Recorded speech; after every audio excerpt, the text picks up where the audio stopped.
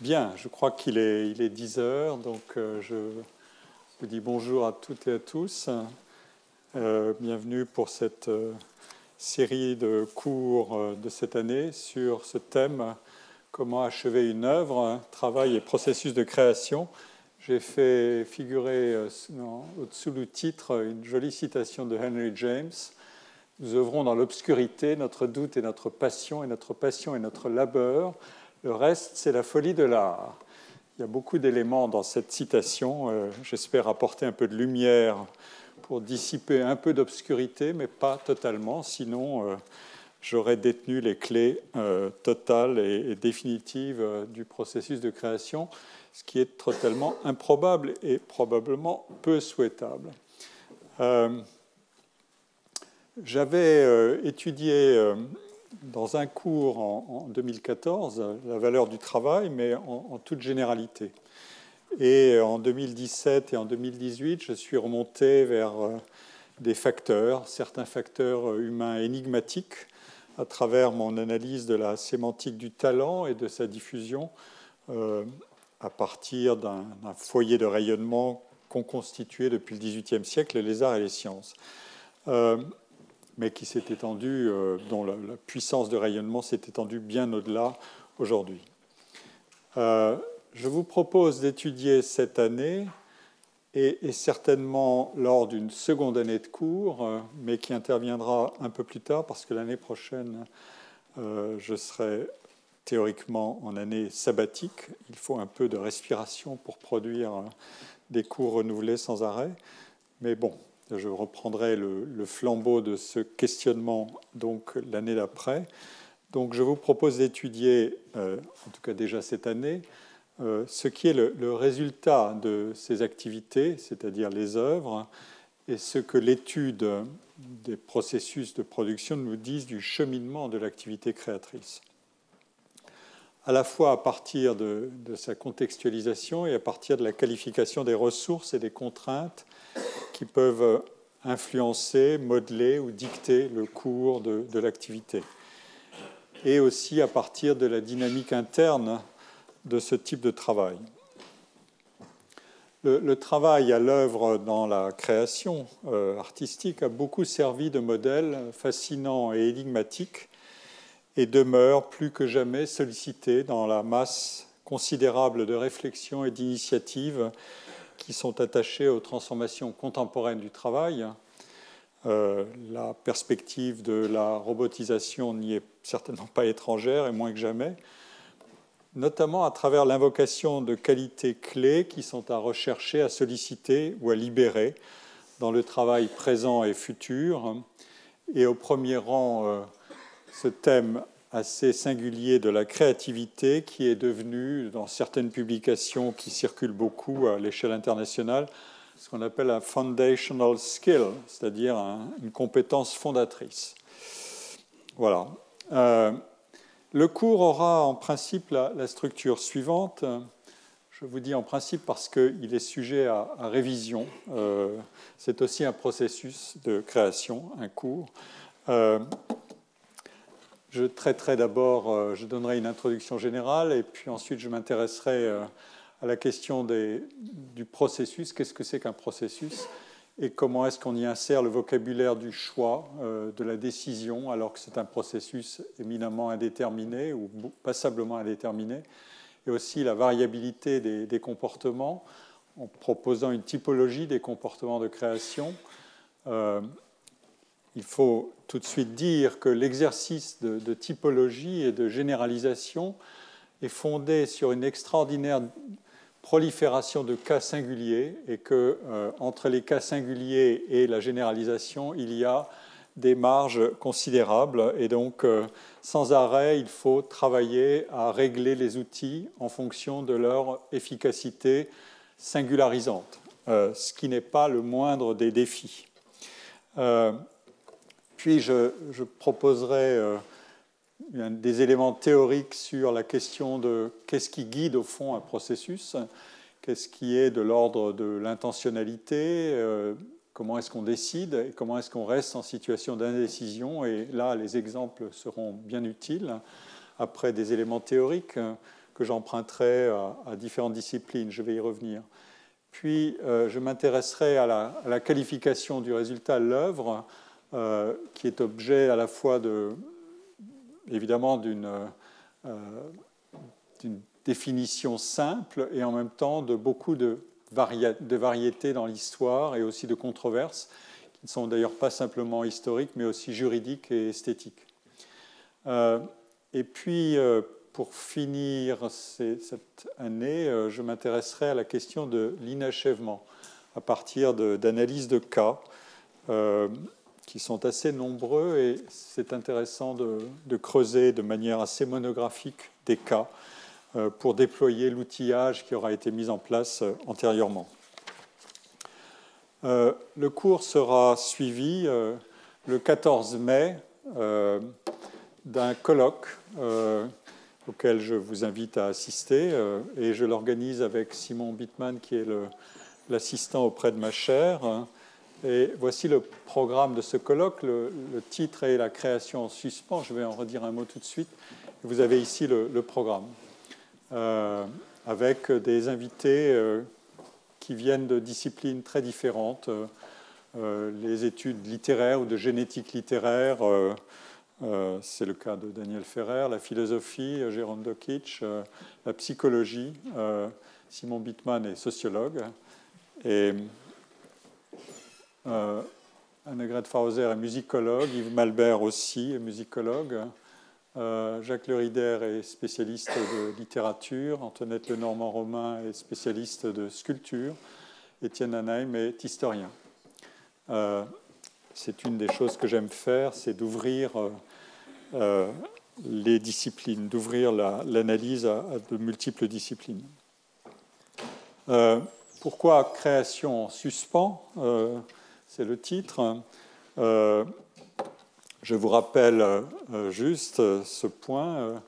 Euh, suspens, si on regarde le dictionnaire, c'est toujours utile. Suspens veut dire d'abord interruption, pause, mais aussi indécision, incertitude. Puis, vous avez la liste ici des significations, de manière plus littéraire, sentiment d'attente, plus ou moins angoissé, sentiment d'appréhension. Et puis, en locution adverbiale, euh, en suspension, euh, qui est momentanément interrompu, mais aussi qui est dans l'incertitude, qui est dans l'indécision, la perplexité. Euh, ce sont des valeurs que vous retrouverez souvent dans le cours que, je vais donner et qui sont à la fois des ressorts de l'analyse et en même temps des énigmes. Pendant tout ce cours, euh, j'examinerai le, processus créateur et son achèvement ou son inachèvement à l'aide de, théories, de raisonnements, de modèles, de notions qui ont été forgés euh, euh, dans de nombreuses disciplines, la sociologie, le droit, l'économie, l'histoire, la psychologie, la psychanalyse, les disciplines d'études des arts, évidemment, l'histoire de l'art, la musicologie, les études littéraires, la génétique littéraire. Et je ne placerai pas tout cet appareil euh, sous le contrôle de l'une seule des disciplines citées, euh, pour la simple raison que les, différents problèmes que j'analyserai relèvent avec un haut degré de concordance de plusieurs disciplines chaque fois, et que les zones de convergence théorique sont suffisamment nombreuses pour que l'essentiel du travail à faire relève avant tout de critères de pertinence et d'efficacité explicative. Et l'introduction que je vais vous donner aujourd'hui, euh, dans cette première séance, devrait euh, vous permettre de vous faire une idée de cette conduite argumentative. Et euh, pour le montrer tout de suite, je vais partir d'une question simple. Pour pouvoir se mettre en situation d'achever une œuvre, il faut avoir le, le moyen de travailler, les moyens de travailler à la réaliser. Euh, les activités artistiques exigent évidemment des ressources, des moyens financiers, des moyens humains, du temps, cette variable euh, qui sera très intéressante à explorer, des moyens en quantité et en temps de disponibilité qui sont très variables.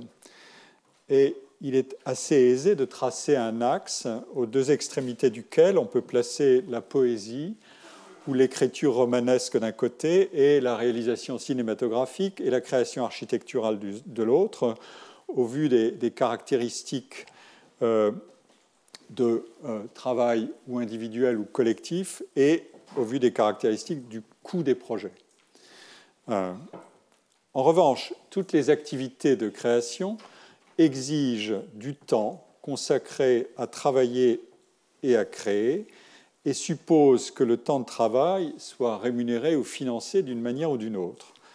Et toutes les activités de création s'organisent pour les individus qui en font métier en des carrières.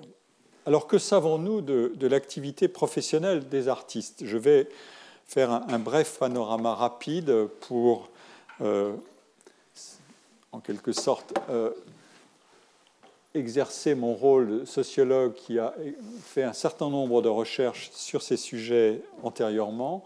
Et je vous rappelle un certain nombre de résultats dès maintenant et encore un peu plus tard.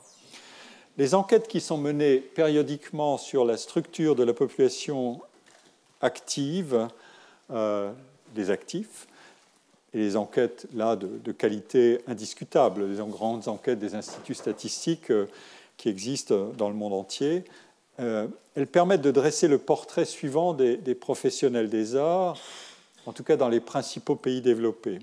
Les artistes qu'on recense comme tels ont une moyenne d'âge qui est plus basse que celle de la population active et un niveau de diplôme qui est supérieur à cette moyenne. Elles et ils se concentrent davantage dans les grandes aires métropolitaines. Ça, c'est un, sujet majeur, euh, les bénéfices et aussi les, contreparties des, euh, des effets d'agglomération. Euh, ils et elles présentent des taux d'emploi, d'auto-emploi ou d'activité indépendante, selon la terminologie euh, juridique française, et une tendance continue à la féminisation qui sont aussi plus élevées. Les mêmes enquêtes convergent pour établir que les revenus des professionnels sont en moyenne plus faibles que ceux de la catégorie d'ensemble dans laquelle ils sont inclus par la statistique publique, je veux dire, euh, en France, on les inclut dans euh, les cadres et professions intellectuelles supérieures, aux États-Unis, par exemple, dans les Professional, Managerial and Technical Workers. Euh, en tout cas, des, revenus qui sont plus faibles au, vu de leur niveau de formation et du statut social de leur activité. L'INSEE avait reclasser ces activités d'artistes dans cette catégorie supérieure des cadres et professions intellectuelles, ce qui était une marque de euh, statutaire. L'estimation des, espérances de gain des artistes, on peut la préciser à partir de ce qu'on appelle des équations de revenus. Alors on prend en compte une série de caractéristiques individuelles des travailleurs, le sexe, l'âge, le lieu de résidence, la situation de famille, la nationalité, et celles qui sont plus directement prédictive de l'espérance de gain, c'est-à-dire le niveau d'études et de qualification et l'expérience professionnelle. Et une estimation par ces fonctions de gain aboutit à mesurer ce qu'on appelle le coût d'opportunité du choix d'une profession, en l'occurrence la profession artistique. Et donc ce coût d'opportunité représente l'écart positif ou négatif entre le revenu moyen que peut espérer un individu dans une profession, ici la profession artistique, et le revenu que ces caractéristiques lui permettraient d'obtenir dans euh, une autre solution ou dans la meilleure solution de remplacement qui est accessible sur le marché du travail. Qu'est-ce que je gagne ou qu'est-ce que je perds à exercer ce métier plutôt qu'un autre, pour faire vite. En procédant ainsi, on voit à propos des artistes que les enquêtes, euh, une fois qu'on a fait ce travail de comparaison euh, des gains d'un individu représentatif du groupe professionnel auquel on rattache les artistes, que euh, on voit donc que la pénalité, entre guillemets, la pénalité que subissent en moyenne les artistes est importante. Elle peut être mesurée de manière assez précise par ces équations, mais il faut ajouter tout de suite qu'elle est assez variable en fonction des professions artistiques. je vous renvoie à des articles d'un ouvrage assez complet sur ces questions et sur beaucoup de sujets qui est un Handbook of the Economics of the Arts, qui a été publié en 2006. Et en 2011, il y a deux volumes très épais qui sont un panorama extrêmement complet auquel ont participé non seulement des économistes, mais aussi des sociologues, moi-même j'y ai participé, des historiens et, bien d'autres collègues de disciplines différentes. toutes les grandes enquêtes nationales indiquent aussi que les artistes connaissent une plus forte dispersion des gains une plus grande variabilité de leurs revenus dans le temps et des taux plus élevés de chômage et de sous-emploi contraints que la quasi-totalité des autres professions qui sont classées dans la même catégorie statistique. Euh, des auteurs euh, qui ont écrit dans ce volume que j'ai cité, euh, Alper et Vassal, ont calculé qu'aux États-Unis, pendant les 60 années écoulées, avant leur, travail, c'est-à-dire avant le milieu des années 2000, l'inégalité des revenus professionnels des artistes avait augmenté à un rythme plus rapide que celle des autres catégories de professional, managerial and technical workers. Et sur un ensemble de 123 professions supérieures qu'ils ont examinées, et en retenant 11 professions artistiques dans cet ensemble, 9 de ces 11 professions figure dans le palmarès des 15 professions qui connaissent les plus fortes inégalités internes de revenus. Et parmi ces neuf professions, celles de comédiens et de musiciens ont les scores les plus élevés d'inégalité. Nous sommes aux États-Unis, c'est-à-dire la, patrie des entertainment industries ou creative industries. Donc, euh, comédiens et musiciens comprend la totalité des, des populations qui exercent dans les différents secteurs euh, du marché euh, industriel de l'art ou des activités de non-profit. Euh, la distribution des revenus dans ces professions qui connaissent donc ces inégalités très élevées a, je le rappelle encore, le profil de ce qu'on appelle une courbe de Pareto, c'est-à-dire un dixième des professionnels d'un métier considérés obtiennent la moitié des revenus annuellement distribués, et un cinquième concentre 80% des gains. Ce sont des données qui ont été répliquées dans des enquêtes euh, plus récentes, notamment euh, des publications euh, tirées de données de l'INSEE qui ont été faites par le département des études et de la prospective du ministère de la Culture sous la signature de, collègues qui s'appellent Marie Gouillon et Frédéric Patureau. Et les individus à gain artistique nul ou, même négatif, négatif voulant dire ici net des dépenses engagées pour l'exercice du métier, sont plus nombreux que dans toutes les autres catégories du groupe des professions supérieures. Et à l'autre extrémité de la distribution, la pointe extrêmement allongée de cette distribution signale qu'il y a la présence d'artistes dont les gains cumulés atteignent des niveaux extrêmement élevés. Enfin, euh, les enquêtes internationales concordent pour établir que la plupart, que les artistes figurent en haut du palmarès qui classe les professions selon le taux de recours à ce qu'on appelle la pluriactivité, le cumul de plusieurs métiers. Et si on inverse l'analyse de la pluriactivité, non pas en demandant euh, pour chaque profession, est-ce que vous exercez aussi un autre métier secondaire, mais en demandant parmi ces métiers euh, qui sont exercés euh, à titre secondaire, lesquels sont les plus fréquents Eh bien, là aussi, les métiers artistiques figurent parmi les plus pratiqués à titre secondaire. Le taux de pluriactivité dans, les professions artistiques a augmenté plus rapidement que dans la population active en général, et plus rapidement que dans la catégorie de ces professions intellectuelles supérieures euh, dans laquelle on classe les artistes. Alors on peut tirer quelques enseignements euh, de ces premières euh, indications que je viens de vous donner. Analyser du simple point de vue du calcul économique de ce que les caractéristiques d'un individu, autrement dit son capital humain, peuvent lui procurer en revenus, l'engagement dans une carrière artistique paraît être une mauvaise affaire. Les chances moyennes de gain sont inférieures à celles d'autres métiers dans lesquels, étant donné leurs caractéristiques, ces mêmes individus pourraient s'engager et ne subiraient plus de pénalités de revenus. Et le niveau des inégalités atteste que ces carrières sont soumises à une compétition élevée et à des écarts cumulatifs de trajectoire, de réputation et de quantité de travail. Je rappelle que la situation de travail des artistes est généralement formée de projets et de transactions parfois nombreuses et enchaînées de manière discontinue avec différents employeurs.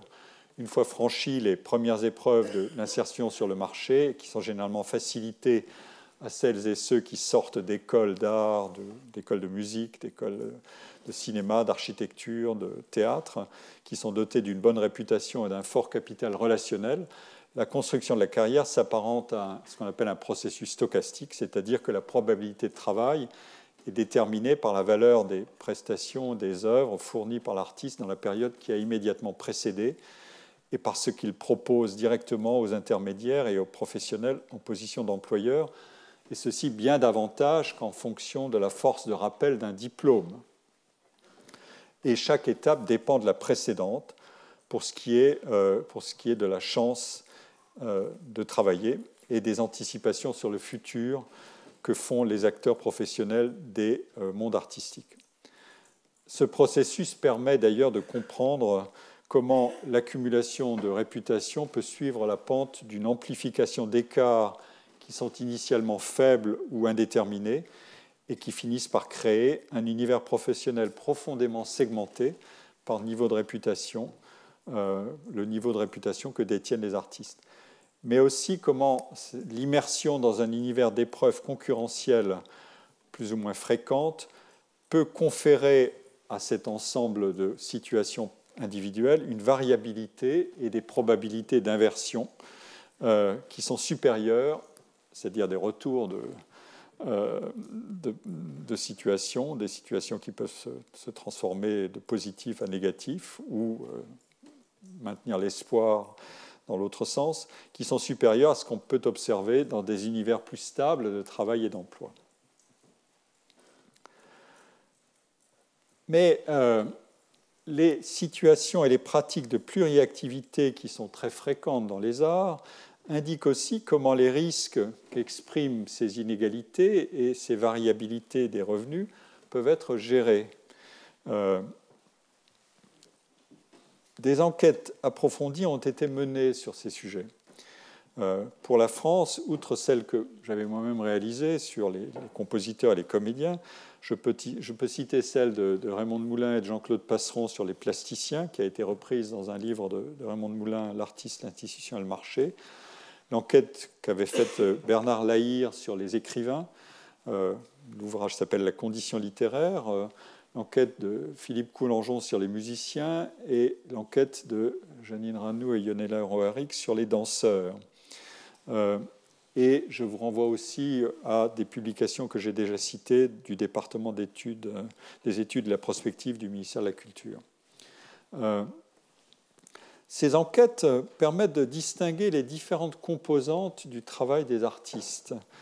il y a le travail que j'appellerais de vocation, c'est-à-dire celui qui est jugé par l'artiste essentiel et qui est soutenu par les autres activités précisément qui servent à absorber les risques économiques du travail de création. Ce travail de création est celui qui est le plus valorisé, euh, mais aussi le plus incertain.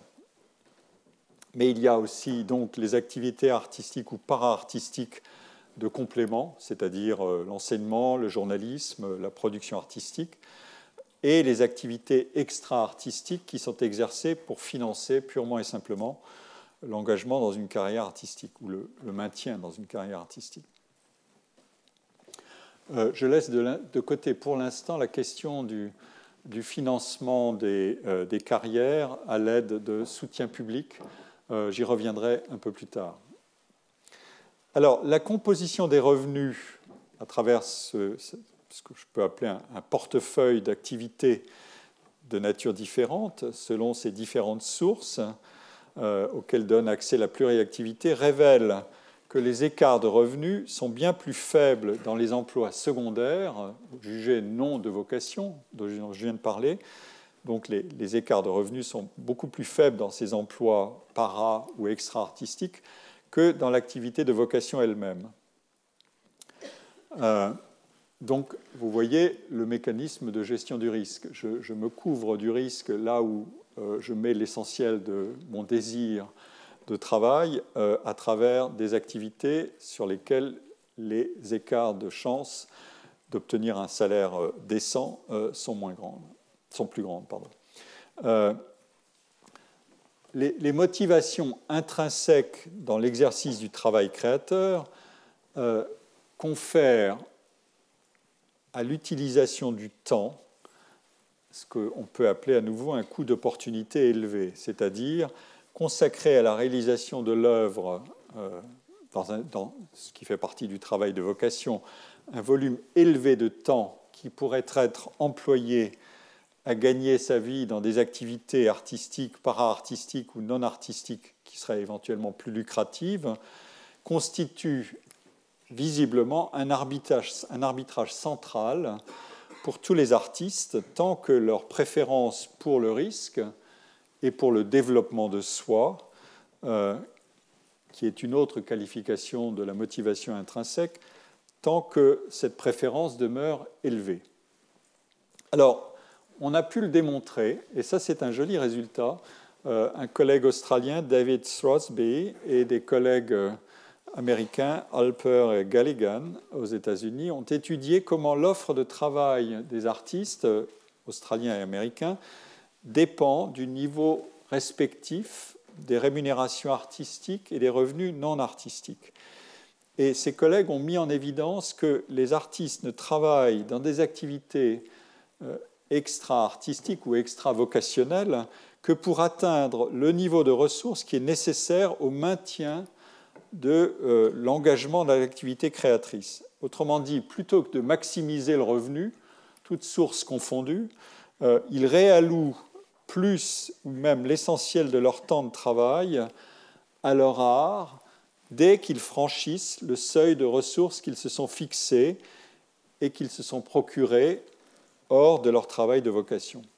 Et donc, nous voyons agir ainsi à deux niveaux un ressort essentiel du travail engagé dans des activités de création. D'une part, les individus qui pourraient quitter ces métiers pour gagner mieux leur vie ailleurs ne le font pas autant qu'on pourrait le supposer avec un raisonnement, comme on dirait, de maximisation d'utilité.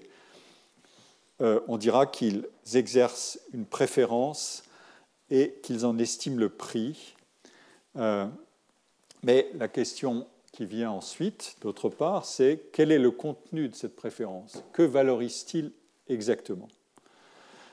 Euh, Le mécanisme d'arbitrage que je décrivais à l'instant, en suivant les travaux de mes collègues australiens et américains, ce mécanisme dit ceci.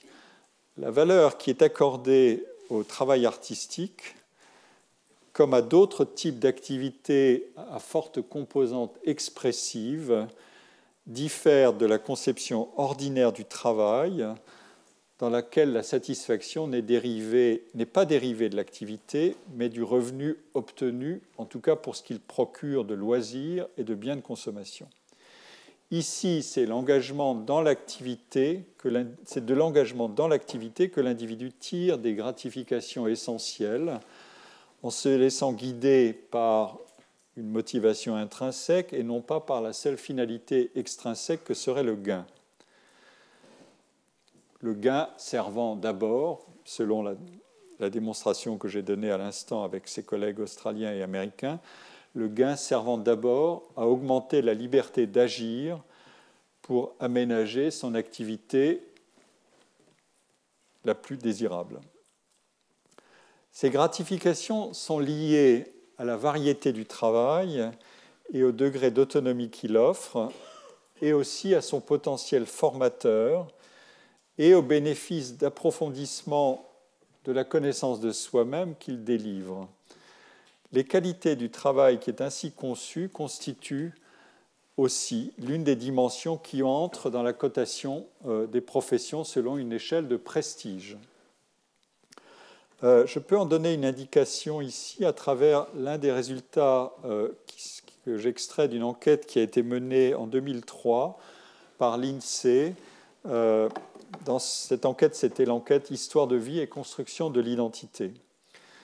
trois auteurs, ou je ne sais pas, je crois qu'on dit maintenant autrices, enfin, que l'usage imposera l'un ou l'autre, on verra.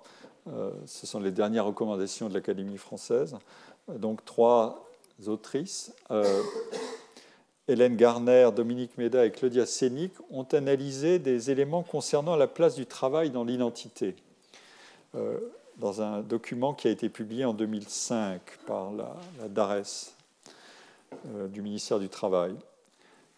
La question de cette enquête sur laquelle on peut s'arrêter portait sur l'importance relative du travail. Il était demandé aux personnes interrogées non pas de dire si le travail est important pour elles, aime de citer des domaines importants, mais de dire si le travail est plus ou moins important que d'autres activités ou temps de vie, notamment euh, la vie familiale, la vie sociale, la vie personnelle. Euh, une précision méthodologique donnée par les autrices de l'enquête.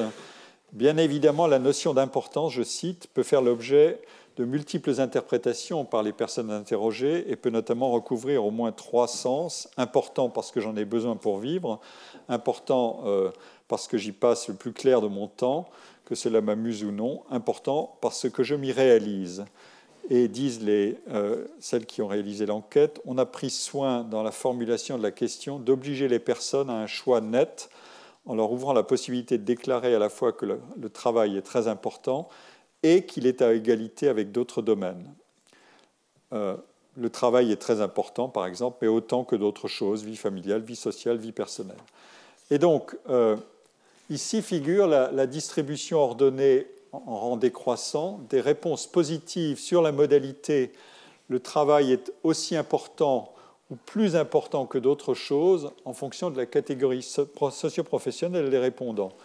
Et vous voyez, euh, dans cette euh, enquête où se situe la catégorie qui a le score le plus élevé euh, de réponse sur le thème important ou plus important que d'autres choses euh, dans ma vie, le travail. Donc, eh bien les professions, ce qu'on appelle, on classe les artistes dans cette catégorie d'ensemble à l'INSEE, c'est les professions de l'information, de l'art, des, arts et des spectacles vous voyez qu'elles sont très au-dessus des autres euh, et que euh, euh, le, différentiel est net. Et ces résultats, d'ailleurs, corroborent d'autres enquêtes qu'on connaît, qui ont été faites antérieurement et ultérieurement. Donc ce sont des résultats assez stables. Étant donné tout ce que je vous ai dit antérieurement sur la situation de revenus et de variabilité euh, de revenus et de position à l'égard du marché du travail des artistes, il y a là quelque chose qui mérite d'être euh, discuté et analysé de près. Euh, l'analyse statistique qui avait été réalisée par les, trois enquêtrices nous apprend que pour celles et ceux qui déclarent que leur travail est important, est important ou très, important ou beaucoup plus important qu'autre chose, la profession est un bien meilleur indicateur que le niveau de diplôme ou le revenu. Quand on regarde tous les, déterminants des réponses, on voit que la profession joue un rôle clé. Évidemment, la profession euh, recouvre un certain nombre de choses que je vais détailler.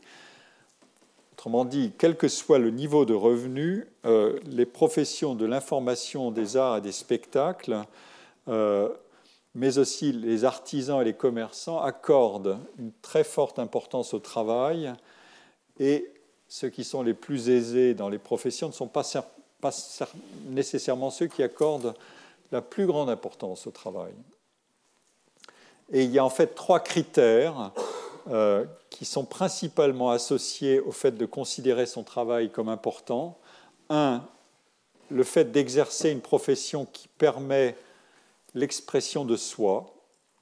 On va découvrir ce que ça recouvre exactement un peu plus tard dans le cours, hein, aujourd'hui. Deuxièmement, le fait d'avoir des horaires longs, euh, autrement dit un travail qui occupe l'essentiel du temps. Euh, le fait d'avoir des, des, horaires non standards est d'ailleurs toujours corrélé positivement avec l'importance accordée au travail. Et enfin, le fait d'être indépendant, euh, autonome euh, juridiquement, indépendant ou même propriétaire de son outil de travail. C'est pour ça qu'on voit figurer ici les commerçants, mais on voit aussi, et les artisans, mais on voit aussi que les ouvriers de type artisanal ont, un score relativement élevé dans la hiérarchie des, réponses. changeons un instant d'époque la, condition économique des artistes euh, a été examinée dès Max Weber, euh, qui est notre, la, figure de la, science sociale ou de la sociologie dans laquelle tout le monde se retrouve, euh, peut-être à, égalité ou même un peu plus que dans celle de Durkheim. Je vous signale d'ailleurs que à ce propos, il y aura un colloque consacré à Durkheim au Collège de France euh, au mois de juin prochain, le 6 et 7 juin prochain, auquel je vous convie aussi euh, dans la série des colloques consacrés euh, par Antoine Compagnon et, son équipe à la présence de certaines grandes figures au Collège de France, qu'elles aient réussi à y être admises ou pas. Il se trouve que Durkheim n'a pas réussi à être élu au Collège de France, mais nous lui consacrerons, et je m'associe à, l'organisation de ce colloque, nous lui consacrerons un colloque au mois de juin. Euh, bon, je ferme la parenthèse sur euh, Émile Durkheim et je reviens à, Max Weber. Euh, la condition économique des artistes fut donc examinée dès Max Weber non pas comme un, simple problème d'addition de sources de revenus, mais comme l'association entre un comportement a ou anti-économique, c'est-à-dire euh, dans la formulation de Max Weber, garant de l'exercice charismatique de l'activité, et aussi une solution économique. Autrement dit, il faut trouver un métier de subsistance. Donc Max Weber l'avait cerné déjà, en fait. Et euh, il l'a fait dans ce grand livre qui a été commencé en 1909 et qui est demeuré inachevé euh, en 1920, qui est Économie et société. Dans ce livre, Max Weber a donné, pour qualifier l'exercice de ce qu'il appelle le charisme et de la domination charismatique, euh, une définition qui s'applique notamment aux prophètes religieux, aux chefs de guerre, aux dirigeants politiques, mais Max Weber mentionne aussi les artistes. Et Qu'est-ce que c'est que cette affaire de charisme? Le charisme pur, dit-il, constitue une vocation au sens de mission ou encore de tâche intérieure. Je mets des guillemets à tous ces mots que j'emprunte évidemment à Max Weber. Et je cite Weber, euh, le charisme dédaigne ou rejette l'utilisation économique de la grâce, c'est l'origine du mot charis, euh, comme source de revenus. Ce qui, ajoute Weber, certainement est souvent plus une prétention qu'une réalité. Ça, c'est son, pied de nez à, des, idéalisations trop simples. Je continue à citer Weber pour dédaigner l'économie quotidienne, traditionnelle ou rationnelle, la réalisation de recettes régulières grâce à une action économique continue dirigé vers ce but, il faut faire appel à ce qu'il appelle ces formes typiques de couverture charismatique des besoins que sont la subsistance par le mécénat, par le grand mécénat, dont fondation, il ajoute aussi corruption ou gros pourboire, ou la mendicité d'une part, et le butin, l'extorsion violente ou formellement pacifique de l'autre. C'est eu égard à une économie rationnelle, une puissance anti-économique type, dit-il. Refusant toute compromission avec la vie quotidienne, elle pourra seulement consentir avec une indifférence intérieure totale à emporter, pour ainsi dire, un profit occasionnel instable. Euh, parmi les autres solutions que le mécénat pour se procurer la subsistance nécessaire figure l'état de rentier, on va le retrouver tout à l'heure, qui rend économiquement indépendant, mais aussi, dit Weber, l'exercice d'une profession accessoire quelconque.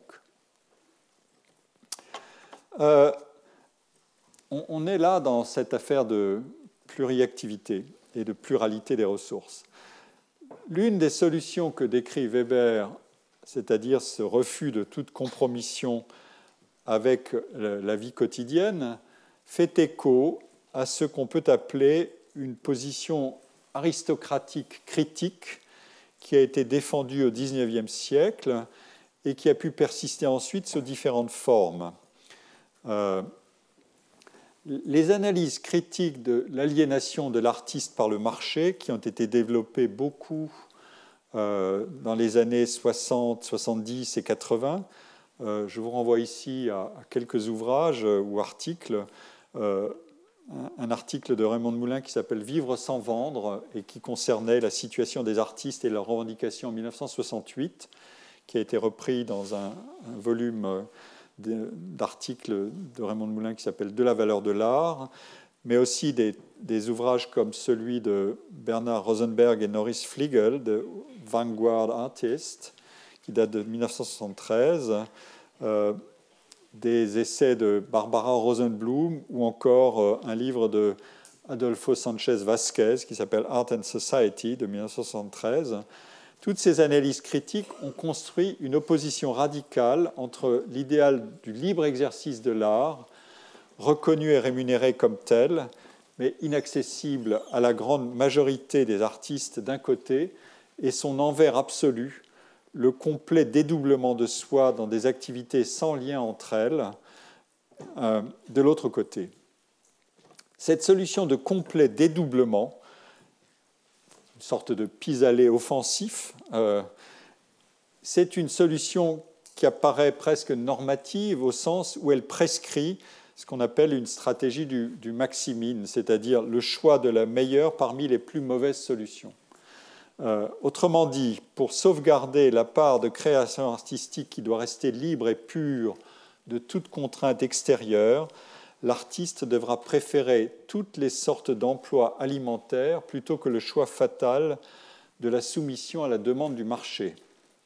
Euh,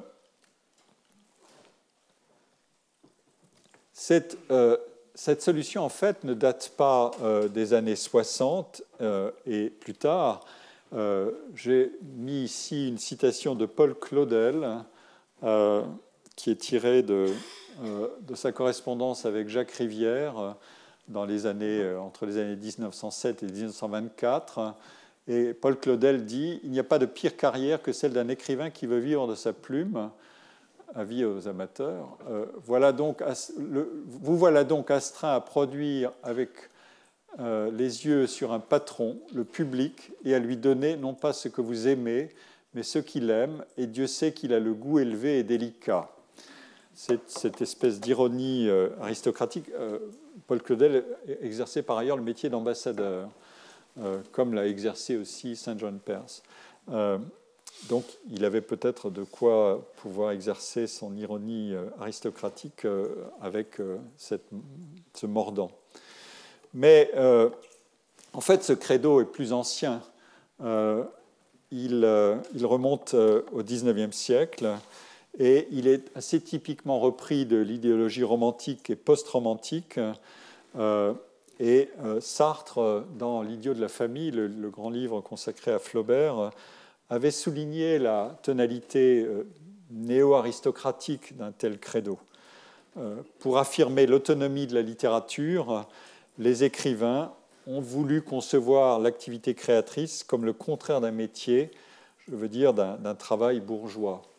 Euh, si l'écrivain, dit Sartre, euh, si l'écrivain doit produire sans compter sur la faveur d'un public qui d'ailleurs est introuvable, il ne faut surtout pas qu'écrire devienne un métier. En d'autres termes, le travail sera noble dans les belles lettres si le travail ne vit pas de ses écrits. Sartre analyse ici la, doctrine romantique et, post-romantique. Euh, il ne l'endosse pas, il l'analyse. Il lui est donc impérativement demandé de pourvoir à son indépendance matérielle. Or, cela ne, peut se faire que de trois façons en exerçant un métier secondaire qui servira de gagne-pain, en acceptant une position ou une sinécure de l'État, en étant assez nanti pour vivre de ses revenus. Et encore avant, euh, dans la préface de sa pièce Chatterton, Alfred de Vigny écrivait Il faut pouvoir ne rien faire pour faire quelque chose en son art. C'est en quelque sorte la résurrection de l'otium euh, des Grecs et des Latins. Euh, la condition des intellectuels, c'est celle d'un loisir qui est libérateur, en quelque sorte, et défait de toutes les contraintes. Alors, est-ce que Alfred de Vigny songeait à l'état de rentier? Ou, alors aux vertus du dénuement radical qui est une sorte de rente négative aussi parfaite que suicidaire.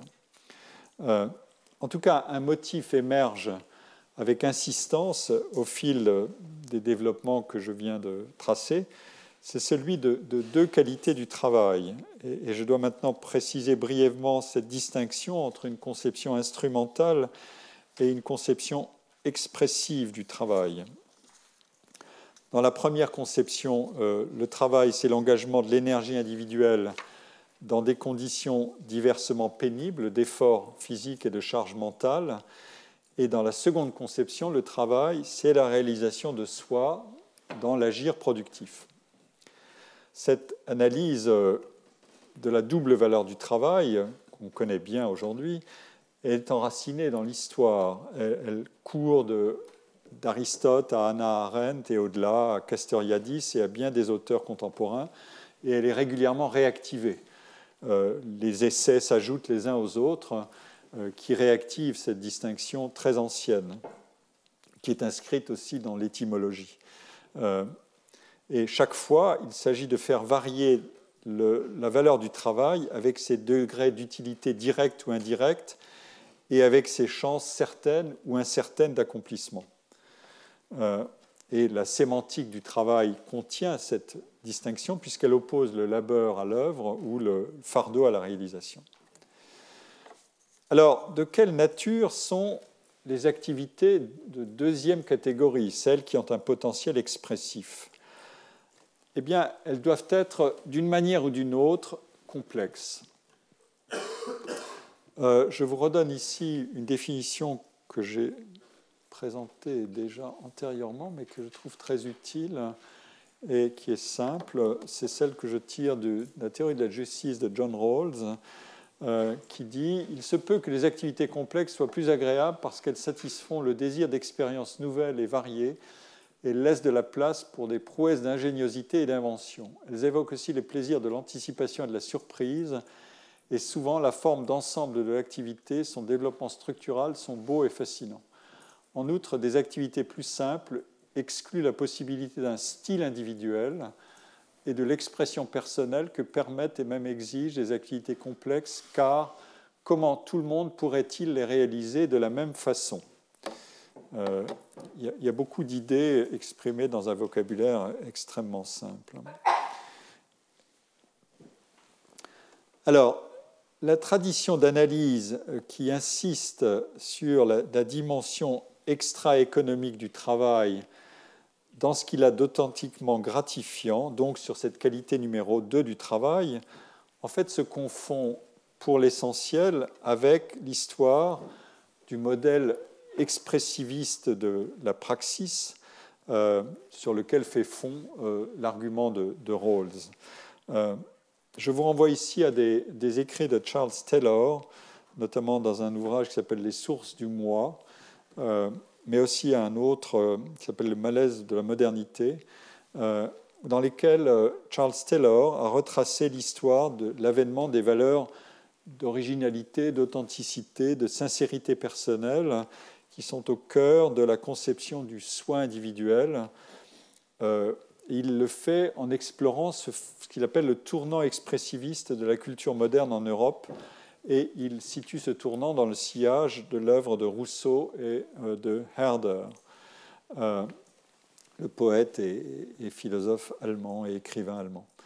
Euh, selon cette, cette, analyse, les individus sont dotés d'une forme d'intériorité inédite. À partir de ce tournant, l'individualité de chacun est fondée sur les caractéristiques particulières de sa personnalité, des caractéristiques qu'il faut préserver de l'imitation et de l'influence d'autrui. Chacun peut, grâce à la réflexivité du rapport conscient à soi et du dialogue intérieur, un joli sujet d'ailleurs qui a donné lieu à, des essais nombreux et fort intelligents et encore récents. J'espère y revenir euh, dans le cours. La question du dialogue intérieur. Euh, une sociologue a même écrit euh, une sociologie du dialogue intérieur. Eh bien, chacun peut, grâce à la réflexivité du rapport conscient à soi et du dialogue intérieur, chercher à accéder aux profondeurs intimes de sa personnalité. L'authenticité ou l'impératif d'authenticité ajoute au contrôle réflexif d'un rapport sincère avec soi-même la reconnaissance de l'originalité de chaque mode individuel d'existence, qui est source d'une célébration de la différence et de la diversité. Donc la réalisation de soi ne devrait, dans cet idéal, être entravée ni par le conformisme social, ni par des inégalités qui interdisent de reconnaître la juste valeur de la personnalité de chacun et l'épanouissement complet de celle-ci. Si donc chacun a une façon originale d'être humain, chacun doit encore découvrir ce soi qui ne se laisse rapporter à aucun modèle préexistant. Et ici, la référence à l'art et aux artistes comme modèle de, la définition de soi devient centrale. Euh, je vous donne la, citation euh, que j'extrais du livre Le malaise de la modernité de Charles Taylor.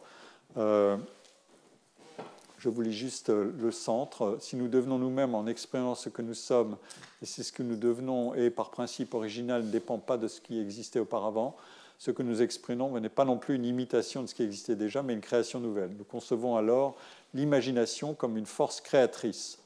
Ici, il a dit, on a tendance à faire de l'artiste un héros, à voir dans sa vie l'essence même de la condition humaine, à le vénérer comme un prophète, un créateur de valeurs culturelles, dans cette conception expressive de la vie humaine.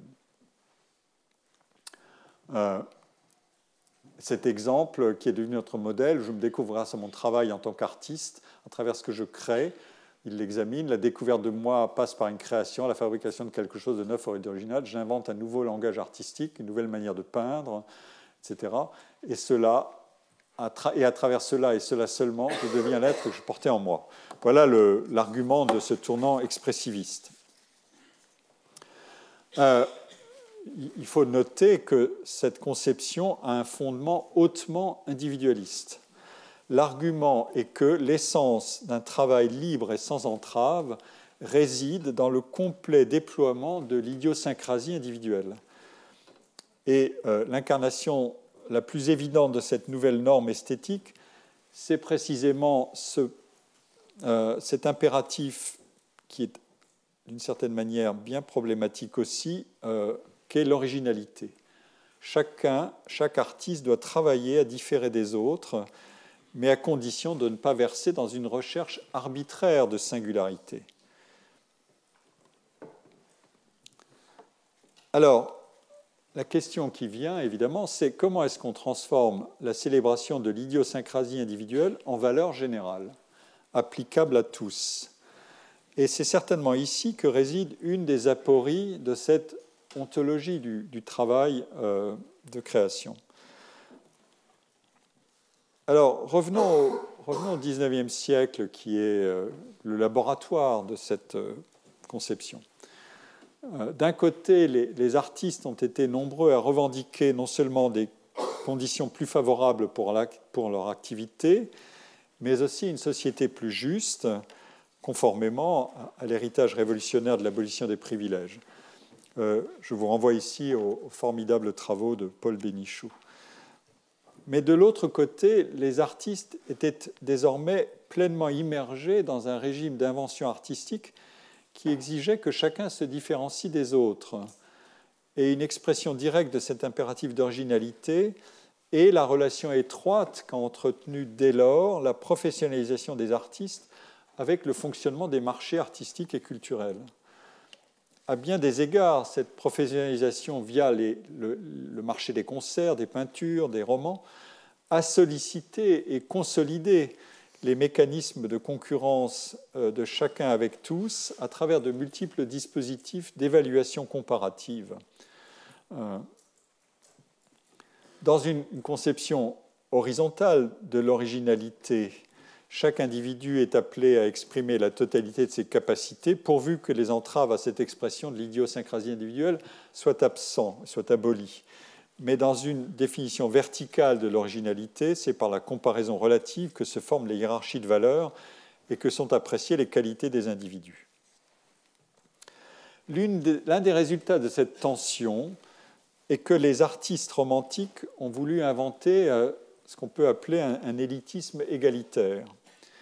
Il s'agit de reconnaître sans réticence à certains créateurs des capacités exceptionnelles et de les donner à admirer parce que ces capacités sont aussi des ressources pour innover et pour abolir d'ailleurs la tyrannie des hiérarchies illégitimes comme celle de l'Ancien Régime. Et de fait, euh, la notion de génie dans son étymologie comme dans euh, sa progressive élaboration dès la Renaissance et dans son appariement avec l'esthétique de l'originalité à partir du Xe siècle, a littéralement deux versants, un versant hiérarchique qui signale l'éminence remarquable de certains créateurs et un versant égalitaire, conformément à ce qui est ce tournant expressiviste, qui fait de chaque individu une totalité à nul autre substituable et donc de l'expression de la personnalité individuelle la condition de réalisation d'un travail délié des filets de limitation. Mais cet, égalitisme, cet élitisme égalitaire fondé sur l'individualisme et l'originalité est une équation bien instable. Car quelle est la philosophie sociale qui fonde explicitement ou non l'impératif d'originalité esthétique et plus précisément la signification du triomphe de l'individualisme qui est cette combinaison d'autonomie, d'authenticité et de réflexivité critique dont l'artiste devient l'un des symboles les plus expressifs et l'un des héros, à UST, les plus éloquents. Euh, dans euh, euh, son livre sur Proust, qui s'appelle Proust, philosophie du roman, Vincent Descombes s'attarde sur ces antinomies de la modernité artistique et demande qu'advient-il quand chaque artiste est tenu de se montrer original? C'est même un critère juridique. Euh, on, y reviendra plus tard pour voir comment le droit traite exactement cette affaire d'originalité. Et euh, il revient aux, analyses et aux, textes de Baudelaire euh, qui sont très éclairants. Le régime individualiste de création contient en effet une sorte de contradiction dans les termes parce que la plupart des artistes ne peuvent pas espérer résoudre euh, dans leur travail créateur l'équation de l'individualisation réussie avec ses trois dimensions d'émancipation, d'autonomie et de réalisation sans coût élevé. On l'a vu tout à l'heure à travers les statistiques le plus grand nombre connaît sous la pression du devoir d'originalité, ça c'est les termes de Baudelaire, le doute ou parfois la pauvreté d'invention, ou encore le chaos d'une liberté épuisante et stérile, je cite Baudelaire, faute de pouvoir manifester constamment une originalité reconnue. Et par un de ces paradoxes dont la compétition artistique n'est pas avare, les artistes qui s'essaient à se singulariser peuvent en arriver à simplement imiter des formules novatrices. Euh, ils admirent leurs collègues plus inventifs, mais l'exemple de ceux-ci les stimule et les inquiète ou les anéantit tout à la fois. Et je cite l'analyse de Descombes qui met en avant la lucidité, mais aussi cette forme de pessimisme aristocratique et parfois dévastateur de Baudelaire. Euh, il, s'appuie sur un problème qui est très important, c'est les régimes de création. Euh, des régimes de création qui, euh, pour faire de l'histoire à la serpe, fixent en quelque sorte un état du travail qui est lié à des styles collectifs ou à une moindre attention au devoir d'originalité, euh, à la pression du canon classique et de la référence au classique. Évidemment, ce style collectif dit, euh, dit, Baudelaire, euh, un style qui est la propriété d'un groupe ou d'une école, mais d'une société. Dans ce tel régime, les individus sont moins originaux et trouvent leur juste place dans une fonction seconde, obéissant à la règle d'un chef puissant, puissant et l'aidant dans tous ses travaux. Le chef, c'est le canon esthétique. Personne n'est en effet tenu de se montrer original. Et, dit Baudelaire, nous avons entre-temps changé de régime. Dans le régime post-révolutionnaire de l'art, le style collectif est non seulement absent, mais est exclu par principe. Il ne doit surtout pas y avoir un même style pour tous. Tout programme d'un retour à l'ordre est aussitôt euh, repéré et fort justement comme une usurpation tyrannique, au nom de quoi certains individus imposeraient-ils leurs préférences stylistiques à d'autres individus. Et euh, dès qu'on poursuit en citant euh, ce prix qu'on doit payer à la modernité, le prix qui doit être payé pour glorifier l'individu, l'individualité, cette petite propriété à manger l'originalité collective. Voilà un sujet de, méditation. En tout cas, le, point de convergence entre les deux versants de l'élitisme égalitaire dont je parlais, c'est-à-dire la dimension euh, euh, verticale et la dimension horizontale de l'originalité, c'est l'idée que la personnalité créatrice, tout autant que son activité, recèle des éléments qui sont essentiellement non prévisibles au départ. Pour le dire autrement, c'est dans une activité qui n'est pas immédiatement subordonnée à des fins qui sont spécifiées ab initio que l'individu peut exprimer sa puissance inventive, précisément parce qu'il ne peut pas contrôler lui-même la situation de travail de part en part, et qu'a fortiori, autrui ne peut pas exercer sur son travail un contrôle étroit qui rapidement abolirait la dimension d'émergence euh, d'une nouveauté possible et d'imprévisibilité de cette nouveauté. C'est même un des grands casse-têtes de la rédaction des contrats de travail pour les artistes qui doivent être essentiellement incomplets Sinon, euh, on aurait aboli l'imprévisible. On y reviendra plus tard. Euh,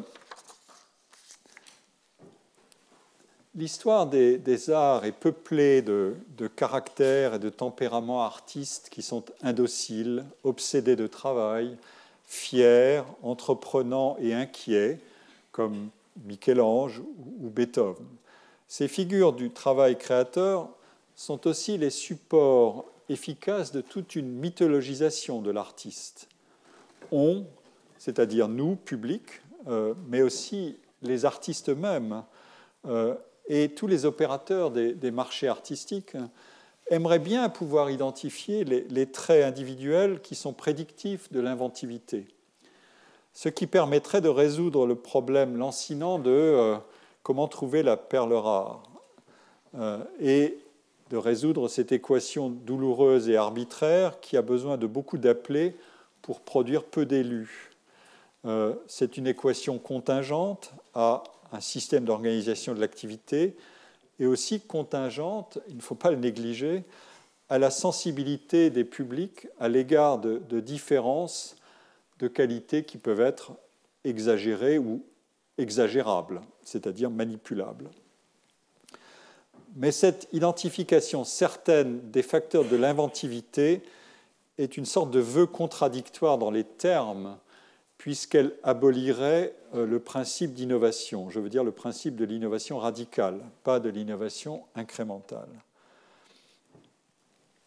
Euh, je donnerai plus tard euh, des éléments de citation et d'analyse consacrés par exemple à la manière dont Picasso rêvait qu'on le filme pendant qu'il peint un tableau afin qu'il puisse déchiffrer ou espérer déchiffrer un peu mieux ce qu'il est en train de faire pour pouvoir se faciliter la tâche au coup suivant. Et évidemment, ça ne marche jamais. Euh, on peut imaginer de substituer à, une caméra euh, comme celle de Georges-Henri Clouzot ou à un, appareil photographique, on peut lui substituer euh, un PET scan pour analyser le cerveau en train de produire. Ça a été fait. Et aujourd'hui, on peut même substituer ou imaginer substituer des algorithmes qui vont explorer la totalité de la production d'un artiste pour lui dire non seulement je sais comment vous travaillez, mais en plus je vais vous produire votre œuvre suivante. Et c'est ce que, euh, on, le verra un peu plus tard, euh, c'est ce qu'on a fait et qu'on continue de faire. Euh, on a voulu finir la 8e symphonie de Schubert, ça vient d'être fait, par, sponsorisé par Huawei. voilà. Et, ça a donné lieu effectivement à, toutes sortes de commentaires et à une grosse couverture de presse, donc bravo. L'opération a été réussie commercialement. Artistiquement, c'est une autre chose. Il faut dire que l'algorithme de Huawei qui prétendait être une puce implantable dans un téléphone portable, ce qui est quand même un, progrès supplémentaire. Euh, autrement dit, vous pourrez euh, faire à volonté euh, des fins de 8e symphonie ou d'autres choses là où vous êtes avec votre portable. cet argument-là avait été mis en avant, mais il y avait aussi un, compositeur qui travaillait pour vérifier ce que valaient les différentes propositions de l'algorithme. Donc il y avait un peu d'editing, ou beaucoup d'editing. Enfin, on n'a pas trop dit ce qui s'était fait. Mais on a fait ça aussi pour produire un nouveau Rembrandt, euh, qui a été fait par, euh, sponsorisé par une société, je crois, de, euh, de design néerlandaise, qui a dit, voilà, je vais vous montrer qu'on peut produire encore autre chose. Donc, chaque fois, c'est la même affaire. C'est, mais quel est donc le secret de l'invention? Et si je vais le déchiffrer, euh, je vais me faciliter la vie. Euh, voilà. Bon. Euh, évidemment, on peut donc dire que est-ce que tout irait mieux si on pouvait conserver la dimension expressive du travail tout en lui retirant sa double composante d'incertitude. Incertitude intrinsèque, euh, je vais revenir sur cette distinction, euh, c'est-à-dire je ne sais pas où je vais, mais j'y vais. Et incertitude extrinsèque, c'est oui, je le fais, mais peut-être que d'autres seront plus originaux que moi pour le faire. Euh, si on retire la dimension d'incertitude et qu'on conserve, on peut quand même conserver la dimension expressive du travail, Évidemment, ça voudrait dire qu'on aurait une catégorie d'activités qui, serait en quelque sorte idéale, puisqu'elle permettrait d'exprimer la personnalité euh, sans le risque qui est celui de tâtonner, euh, peut-être de manière extraordinairement douloureuse, et d'être confronté à ceux qui tâtonnent plus vite et plus efficacement que vous, euh, etc. Et donc, est-ce que tout ça a un sens? C'est en fait une hypothèse qui fonde l'entreprise par laquelle la dimension expressiviste du travail a soutenu une critique radicale des rapports sociaux de production et des conditions de travail qui prévalaient massivement dans la catégorie 1 de travail, euh, c'est-à-dire le labeur, le fameux tripalium.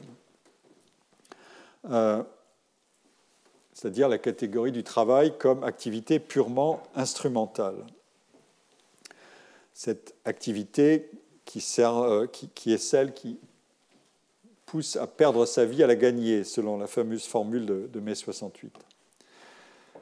Autrement dit, élever le travail euh, œuvre au rang de modèle et abaisser le travail labeur au rang de contre-modèle à dépasser, euh, c'est ce qui est apparu dans des conceptions révolutionnaires comme celle qu'a promue Marx euh, et qui s'appuyait sur certains exemples qui servent toujours d'idéaux régulateurs, celui de l'artiste étant au premier rang, y compris chez Marx.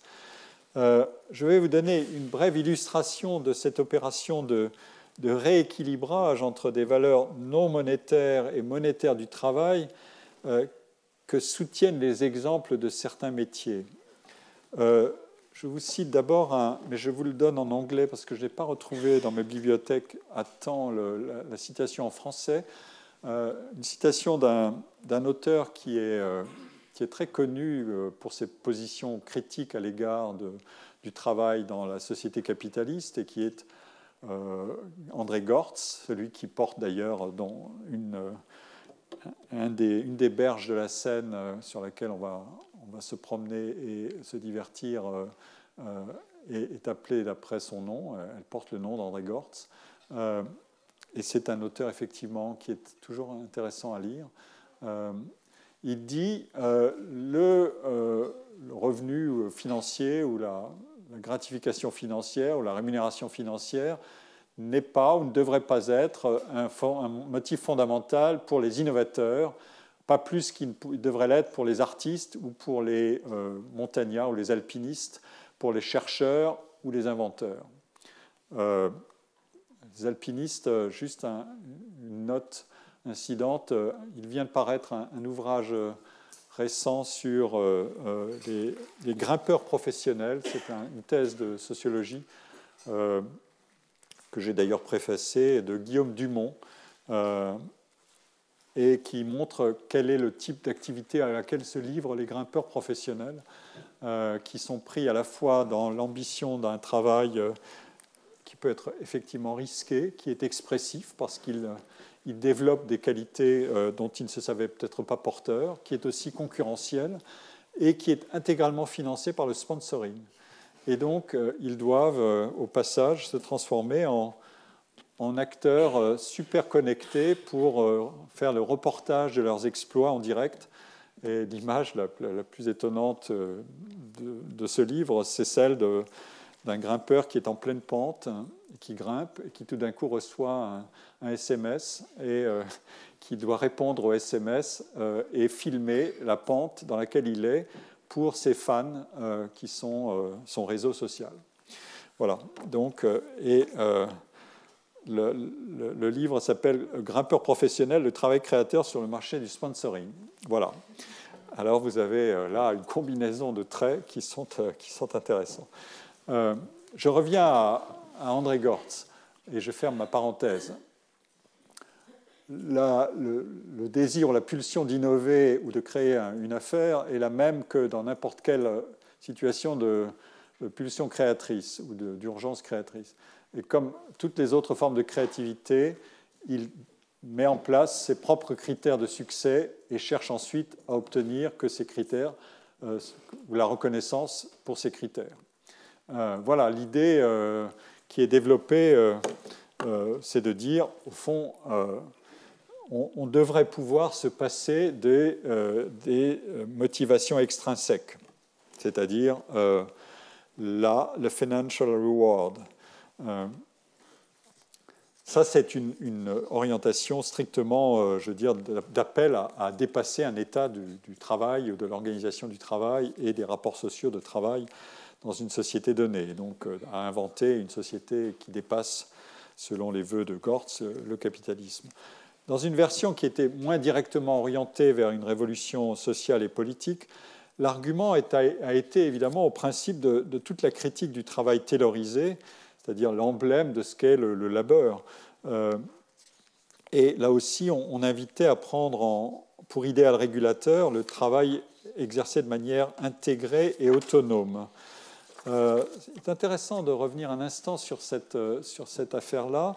C'est celle qui occupait les sociologues du travail, les pionniers de la sociologie du travail en France après la Deuxième Guerre mondiale, des auteurs comme George Friedman, Pierre Naville ou Alain Touraine, qui ont beaucoup étudié notamment l'industrie automobile.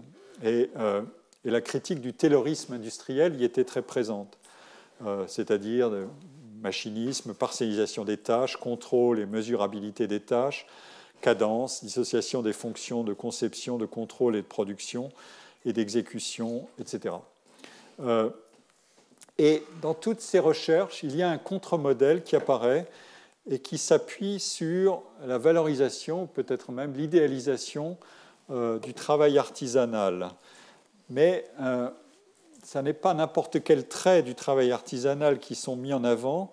il y a là les éléments d'une sorte d'anthropologie normative euh, qu'on a pu, euh, dans un ouvrage par exemple d'Alexandra Bidet qui s'appelle L'engagement au travail, euh, qui elle a déchiffré ce qu'était cet idéal, notamment dans l'œuvre de George Friedman, cet idéal du travail,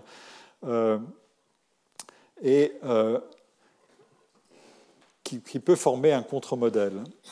Et ce contre-modèle, il a comme caractéristique essentielle le recours à la polyvalence, à la variété des tâches, à leur alternance, à travers des expériences qui doivent permettre à l'ouvrier, je cite, de participer au façonnement de son activité, bref, de lui redonner de l'autonomie qui est le bien commun et la source du sens du travail.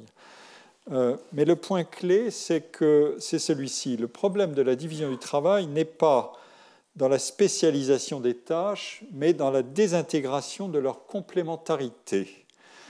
Enrichir le travail, ça n'est pas ajouter des tâches à celles qui sont exercées, euh, c'est plutôt engager un processus d'intégration des tâches qui doivent être à la fois éventuellement plus nombreuses, mais aussi beaucoup plus complémentaires.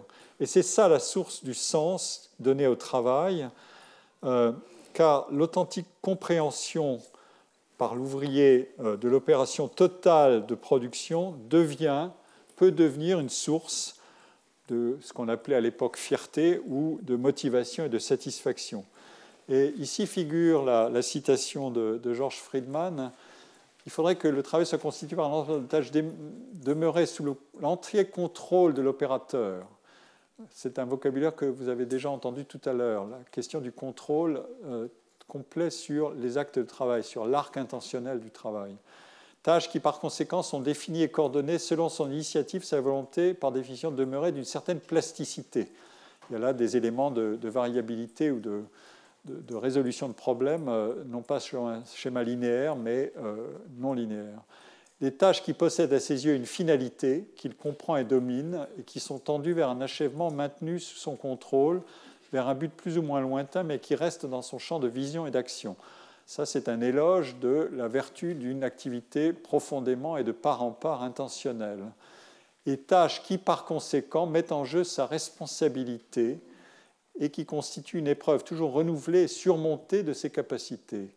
C'est donc euh, tout, ce vocabulaire résonne euh, de manière assez, assez originale, mais il, y a au sein de ce vocabulaire l'idée, euh, je crois, très importante, qui est, et qu'on peut résumer à travers toutes sortes de notations qu'on trouve dans l'œuvre de Friedman, et, et dont Alexandre Abidet fait d'ailleurs l'inventaire, métier unitaire, global, complet, tâche globale, entière, complète, travail unitaire, artisan polyvalent, apprentissage complet, méthodique, humain, achèvement d'un ensemble, d'un produit, d'une unité, création complète du produit, euh, vue d'ensemble d'une fabrication, etc. Faire le tour du métier, finir un bel objet, faire un moteur entier ou œuvre achevée, produit total, euh, recomposition des tâches, unification d'opérations dispersées, processus global de production. Et c'est sur cette base que, l'artisanat euh, est érigé par Friedman en idéal désirable, en perfection perdue ou en réconciliation possible entre l'activité technique et l'attribution de sens par la médiation de l'autonomie. On trouve aussi euh, ce genre de raisonnement assez proche, assez proche, ou même parfois littéralement identique sans que les auteurs se soient forcément lus l'un l'autre. En tout cas, le suivant a pu lire le précédent, mais George Friedman n'a pas pu lire celui que je vais citer tout de suite, c'est-à-dire Richard Sennett, qui a écrit un ouvrage qui est, euh, qui est connu, euh, qui s'appelle en anglais The Craftsman, et qui est traduit en, français par euh, Ce que c'est la main. et son idée, c'est que l'artisanat, ou un artisanat créateur ou créatif, puisqu'il y inclut certaines professions artistiques, mais aussi des professions, par exemple de l'informatique, la conception de logiciels, euh, mais plutôt dans un cadre de logiciels libres que dans un cadre type Google ou Microsoft, et que, ces activités-là ont ces qualités de, poursuite d'un but, mais avec euh, une vision du contrôle et aussi le droit de travailler à chercher des solutions, euh, à tâtonner, à explorer des voies et non pas à penser qu'on doit trouver une solution qui s'applique invariablement et de manière fonctionnelle au problème. Il y a une puissance euh, effective de la rencontre des problèmes. Comme dit Sennett, je le cite ici, l'artisan explorateur fait plus que rencontrer des problèmes, il les crée pour les connaître. Améliorer sa technique n'est jamais un processus mécanique de routine. Cela dit, ce que font ces auteurs, je ne détaille pas davantage l'essai de, de Richard Sennett, je vous y renvoie, mais euh, j'en tire cet argument et que j'applique aussi à Friedman. Il valorise le travail désirable en écartant le problème de l'échec euh, et le problème de, l'inégalité des, performances. Ces mondes d'artisanat sont construits d'une certaine manière pour restreindre la, dispersion ou pour contrôler la dispersion des performances.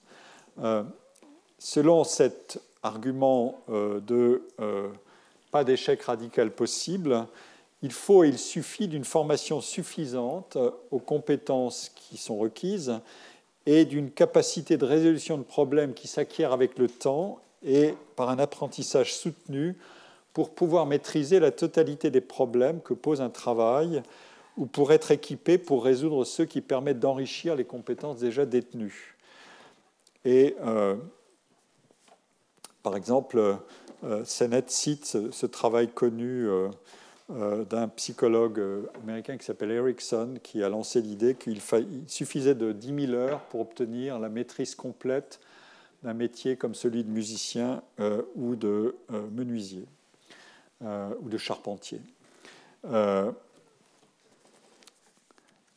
Et donc, pour rendre leur modèle viable, autrement dit un travail expressif sans une incertitude radicale, les deux sociologues doivent, chacun à sa manière, abolir ces incertitudes euh, intrinsèques et extrinsèques. Alors, résumons-nous maintenant en demandant, déployer ces capacités, est-ce un processus qui est assuré de se développer durablement? Et on peut trouver la réponse à travers l'exploration que je viens de mener en disant oui, si trois conditions sont réunies, pas de contraintes insurmontables sur la réalisation du travail, pas de possibilité dramatique d'échec et pas de jugement émis sur la valeur de la réalisation, car le jugement et sa nature comparative seraient porteurs de compétition et de spécialisation. Ces trois conditions se réunissent dans l'argument de l'autonomie graduée à son maximum et qui devrait être alors pris à sa lettre, c'est-à-dire euh, l'argument de se donner à soi-même sa propre loi. Euh, c'est l'argument qu'on trouve dans la philosophie classique, euh, celle par exemple de, Kant et dans toute la métaphysique post-kantienne, et qui indique que la nature elle-même, et pas simplement l'humain, est productrice et que l'individu humain, en activant ses forces créatrices, ne fait qu'obéir aux lois qui régissent la nature. Et donc l'activité créatrice, si on la, gradue à ce niveau d'autonomie-là, elle devient un besoin naturel élémentaire de production. Euh, c'est un argument d'ailleurs qu'on trouvait chez Marx, quand Marx disait que, euh, je vais y revenir tout de suite, le, poète euh, John Milton, euh, l'auteur du Paradis perdu, Paradise Lost, avait écrit son poème comme un verre à soie produit son fil. littéralement, c'est ce qu'il disait. Donc c'était une manifestation de sa nature, ce sont les mots de Marx. En fait, quand on regarde de près le cas de Milton, on, peut penser que Marx s'est laissé un peu emporter par sa version naturalisante ou, désingularisante, c'est-à-dire universalisante, du modèle expressiviste d'aptitude à la créativité et à la création. Parce que qu'est-ce que nous dit euh, euh, l'analyse euh, historique des conditions de production de Paradise Lost de Milton Le poème de Milton, je vous le rappelle, Milton est un poète anglais de qui a vécu entre 1608 et 1674, et il a publié son fameux poème, hein, euh, une première version en 1667 et une deuxième version euh, étendue en 1674. La première comportait 10 euh, livres et la deuxième 12 livres. Ce sont plusieurs milliers de vers. Et quand on va regarder, donc, premièrement, il a révisé pour améliorer. Donc, ne sais pas si le verre à soie euh, révise son fil de soie euh, pour l'améliorer. mais d'autre part, il l'a produit assez tard dans sa carrière. Et un, un, auteur qui a écrit sur ce fameux Paradise Lost de Milton, David Levenstein, dans un ouvrage paru en 2004, dit que euh, le, Paradise Lost, c'est en fait le produit d'un travail médité de très longue haleine et depuis longtemps euh, par un homme qui était devenu, qui était âgé ce moment où il a écrit ce poème, qui était quasi aveugle euh, et qui par ailleurs réagissait à... C'était un pamphlétaire très connu à l'époque mais il réagissait euh, aux échecs de la réforme de l'Église et de l'État et se disait je vais écrire un grand poème épique euh, qui sera axé sur les vérités sacrées et qui tentera, après la chute de la Révolution anglaise, d'affirmer aux hommes la providence éternelle et justifier the ways of God, les manières de Dieu. Euh, et comme dit David Lovenstein, en fait, John Milton a préparé son affaire depuis très longtemps. Il a produit des poèmes dans sa jeunesse, mais euh, il a pensé que euh, aller beaucoup plus loin et se lancer dans un projet beaucoup plus ambitieux était une affaire euh, importante, mais qui demandait beaucoup de préparation. Donc, en fait, c'est un verre à soie qui est un peu compliqué à penser comme un simple verre à soie, mais on ne sait pas comment pense un verre à soie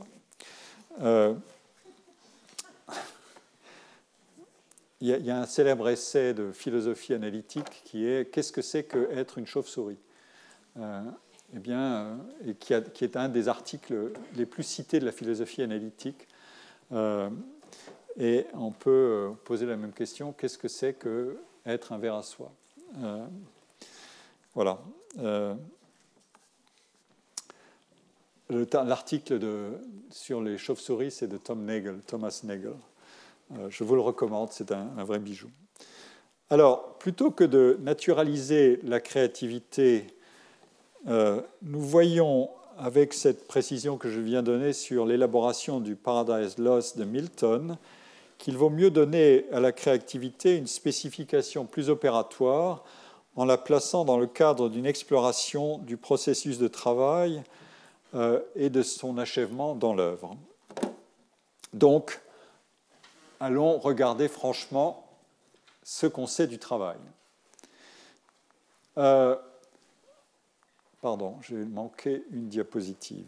Alors, je vous donne simplement, à propos de cette question du travail, un bref aperçu de ce que les sciences sociales nous apprennent d'assez solide euh, pour couvrir le champ euh, du travail artistique. ça va être rapide et ça nous introduira à ce qui m'intéresse plus directement. Nous savons d'abord que euh, les propriétés de l'organisation du travail sont aisées à cerner. C'est un travail qui est essentiellement par projet. Euh, la division du travail s'y organise à travers ce que Howard Baker appelle des chaînes de coopération qui sont nécessaires pour rendre possible la production des œuvres, des spectacles, donc euh, qui assemblent des tas de professionnels de, de, métiers différents euh, contractuellement pour produire ces œuvres. Euh, et tout ça compose des génériques de production. Euh, le cas du cinéma est le plus connu, mais il y en a bien d'autres. Hein. le générique étant d'ailleurs à la fois aussi une attestation de revendication et de reconnaissance d'une empreinte individuelle sur le résultat final. Mettre son nom dans un générique, c'est dire je contribue. Et les génériques de cinéma sont plus longs que les génériques de production d'articles scientifiques qui ont le même problème, c'est d'identifier les, collaborations. Euh, mais les génériques de cinéma vont plus loin euh, dans euh, la spécification de toutes les contributions individuelles.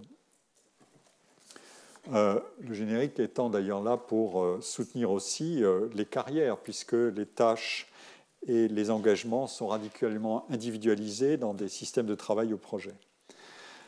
Deuxièmement, nous savons que, euh, je l'ai dit un peu plus haut, les dimensions monétaires et non monétaires du travail sont analytiquement séparables. Alors la question de leur relation, est-ce qu'il y a substitution ou complémentarité entre ces deux dimensions, elle est omniprésente puisque les actes de travail artistique sont à la fois euh, détenteurs d'une valeur élevée d'accomplissement, mais aussi, je l'ai dit, générateurs de fortes inégalités de réussite. Et si je dis est-ce que c'est substituable ou complémentaire, je demande est-ce qu'il est possible ou impossible de supposer que dans les arts, gagner beaucoup, c'est avoir invariablement vendu son âme? Ou à l'inverse, soutenir que euh, pratiquer le qui perd gagne comme une, éthique personnelle, ce qui est une des formulations de l'éthique romantique, c'est-à-dire si je perds euh, parce que personne ne veut de moi ou que le marché me, euh, m'ignore, en fait, je vais gagner à long terme. Est-ce que ce qui perd gagne serait une garantie parfaite d'inventivité? Évidemment, ça n'est pas aussi simple.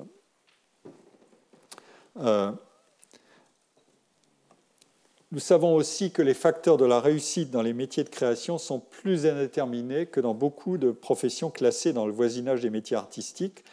Ça, c'est un, casse-tête analytique qui est intéressant parce que la combinaison des facteurs offre suffisamment de variabilité pour qu'on puisse l'explorer méthodiquement. Je ne développe pas.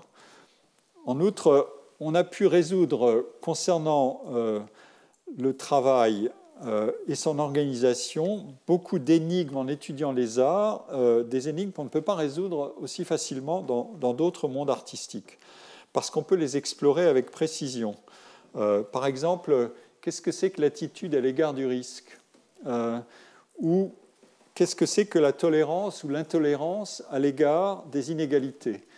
Il y a des mondes dans lesquels on est plus tolérant à l'égard des inégalités que dans d'autres. Euh, dans les arts, les sports, les sciences, euh, on l'est davantage que euh, dans le monde des entreprises. Un autre problème qui a été exploré, c'est la croissance qui peut être simultanée de l'emploi et du chômage dans les mondes artistiques. On a aussi su explorer, je lui ai consacré du temps antérieurement, on a su explorer la question du talent. Et les arts sont un laboratoire puissant pour analyser ça. Et enfin, c'est un très bon laboratoire pour analyser le comportement des politiques publiques, qui sont, euh, qui sont un soutien à l'offre et à l'innovation, mais qui sont aussi génératrices d'une concurrence avec l'innovation à travers le soutien à la conservation du passé. Euh, puisqu'on fait les deux. On, soutient la création destructrice et on soutient aussi euh, le patrimoine qui est la conservation de ce contre quoi l'innovation euh, agit ou doit se libérer. Par ailleurs, les données sur les carrières des artistes et sur les produits de leur travail, les œuvres, sont extrêmement abondantes. Euh, et ça, c'est même le résultat de, des propriétés même d'organisation du travail, les contrats, l'organisation par projet, l'architecture des, équipes, la durabilité des œuvres, euh, la documentation abondante qui a été laissée, en tout cas depuis au moins deux siècles, euh, par les artistes sur leur production. Euh, et on peut dire que pour tout ça, sur ce point-là, les travaux historiques, économiques et sociologiques les plus convaincants empruntent à peu près exactement les mêmes voies. Ce n'est pas une affaire disciplinaire. Simplement avec des degrés de précision qui sont très variables et avec une conscience plus ou moins aiguë des biais de sélectivité. Euh, qu'est-ce que j'appelle biais de sélectivité?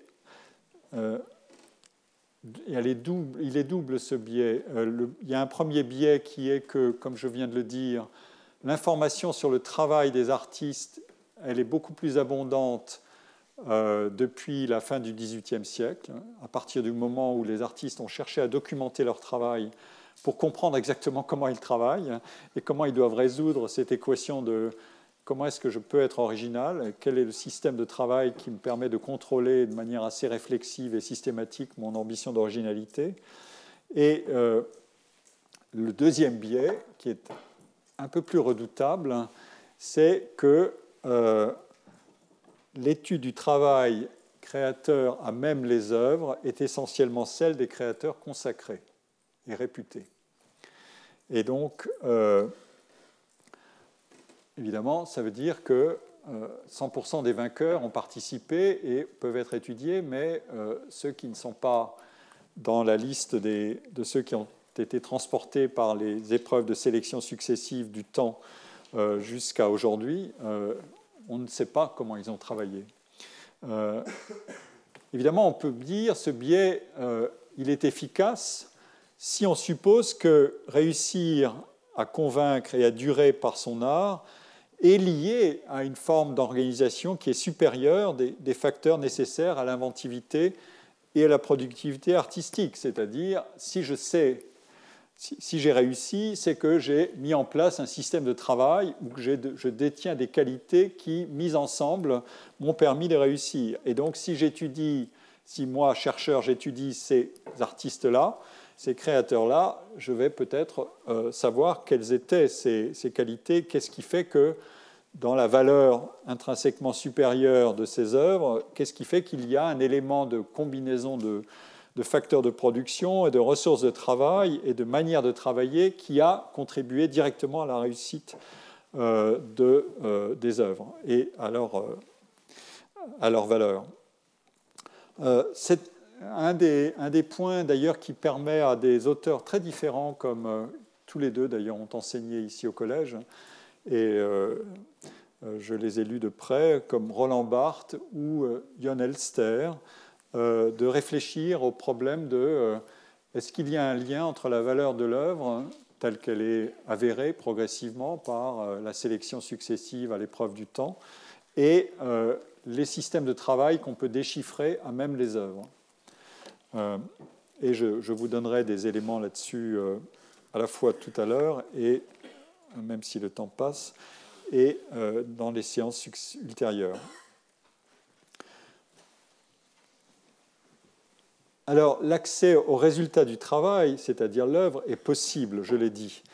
Et l'appareillage analytique qui est celui que j'utiliserai ne concerne pas les significations ou les interprétations des œuvres, euh, ce domaine, il a évidemment de l'intérêt, mais il ne relève pas de mon enquête, même si je peux y toucher euh, euh, plus tard dans mon cours, notamment pour montrer quelle est la contribution des interprètes, c'est-à-dire les spécialistes, mais aussi le public qui adresse des questions aux œuvres. quelle est cette contribution de, de l'interprétation à la durabilité des œuvres? Une œuvre qui n'est plus interrogée est une œuvre qui meurt. Et donc, une œuvre doit être éternellement inachevée dans son interprétation pour vivre. Pour l'instant, mon analyse porte principalement sur le travail comme un, processus avec ses séquences, ses bifurcations, ses révisions, ses négociations. Euh, et je pense qu'il faut être plutôt indiscipliné que discipliné euh, pour faire, autrement dit, souscrire à une seule discipline pour faire cette exploration et je mettrai en jeu des, éléments qui viennent de plusieurs disciplines, y compris des artistes eux-mêmes, et je vais en faire euh, des citations tout de suite, hein, des artistes eux-mêmes qui ont documenté euh, leur système de travail ou leur manière de voir ce qu'est le travail de manière assez abondante, je l'ai dit. Pour vous donner tout de suite euh, un, un exemple de quelque sorte d'appétit pluridisciplinaire ou de goût de l'indisciplinarité. Euh, je, vous cite ici un livre que j'ai toujours trouvé, même à le relire, formidable. C'est le meilleur livre que je connais en matière d'économie de, l'art, euh, au sens généraliste du terme. C'est The Creative Industries de Richard Caves, qui, est, qui était un économiste, qui est un économiste, je crois à la retraite aujourd'hui, qui a fait de l'économie industrielle à Harvard mais euh, ce livre, euh, qui n'a d'ailleurs pas été traduit, est un, est un vrai bijou. Euh, et on trouve dans ce livre les, six principes qu'il décrit, qu'il explore pour qualifier les arts. il y a l'argument de la motivation intrinsèque, art for the art's sake, c'est l'art pour l'art. le principe d'incertitude sur la réussite, c'est nobody knows. Motley Crue, ce sont des équipes qui travaillent ensemble. Euh, la compétition par l'originalité, c'est la variété infinie de, la production. La différenciation verticale, c'est le pivotement de l'horizontal en vertical. Et la durabilité, euh, qui est une caractéristique bien connue aussi du travail travail contenu dans les œuvres et des œuvres elles-mêmes, et qui est une des caractéristiques remarquables de l'art par rapport à d'autres formes de travail humain. Il y a peu d'exemples de travail humain qui, qui traversent les siècles, et les arts en sont. Alors, c'est pris une à une, chacune de ces euh, propriétés ont été identifiées dans des travaux euh, fort différents et fort variés disciplinairement. En fait, ce qui fait l'originalité du livre de, de Cave, c'est l'étude de leurs interactions et de leurs combinaisons. Je vais examiner, moi, trois qualités que j'ai mises en gras, euh, qu'on peut identifier dans d'autres travaux aussi, et je m'appuierai d'ailleurs sur des matériaux et des raisonnements qui sont différents de ceux que cite Caves ou que Men Caves. Et tout simplement parce que je veux rester dans la ligne de ce qui m'intéresse moi, c'est-à-dire ce qui s'applique à l'analyse du processus créateur, qui n'est pas exactement ce qui intéresse directement euh, Richard Caves. Alors, pour entrer dans la, première de ces caractéristiques, cette fameuse motivation intrinsèque, euh, je vais vous donner des citations de Paul Valéry qui fut aussi professeur ici. Euh, et euh, Paul Valéry mérite d'être lu et relu. Bon, c'est un trésor pour tous ceux qui recherchent des citations à faire commenter à leurs étudiants ou à leurs élèves, mais c'est aussi quelqu'un qui a pratiqué la réflexivité à l'égard de son travail d'une manière extraordinaire et très systématique, continue, tous les matins à 6 heures devant son lutrin à écrire, et notamment à écrire sur la manière d'écrire. Euh, et ça occupe beaucoup, beaucoup de, de, ses œuvres et une collection considérable de cahiers euh, qui n'ont pas tous été ou qui sont en voie de publication et d'édition euh, finale. Un collègue qui va nous rejoindre est chargé d'ailleurs de cette édition. alors, Paul Valéry désigne au cœur même de ses analyses du processus de créateur le travail, littéralement le travail, comme ce ressort essentiel de l'accomplissement complet de l'individu créateur, et il entend par travail euh, une opiniâtre et obsessionnelle préoccupation et à, poser et à résoudre d'incessants problèmes pour relancer indéfiniment le travail dans l'œuvre. Et non pas, euh, ça n'est pas un témoignage de l'impuissance à faire ou euh, à parfaire une œuvre, c'est une exigence euh, qui est consubstantielle au, travail de création. Et sans cette requalification de l'activité créatrice comme une forme supérieure d'épreuve, nous dit Valérie, c'est l'activité même d'invention qui est inintelligible. Euh, car euh, ce travail est à la fois une production et une résolution de problèmes. Et il implique, dit Valérie, autant un travail sur soi qu'un travail à partir de soi autant la production de l'œuvre qu'une réalisation transformatrice de soi.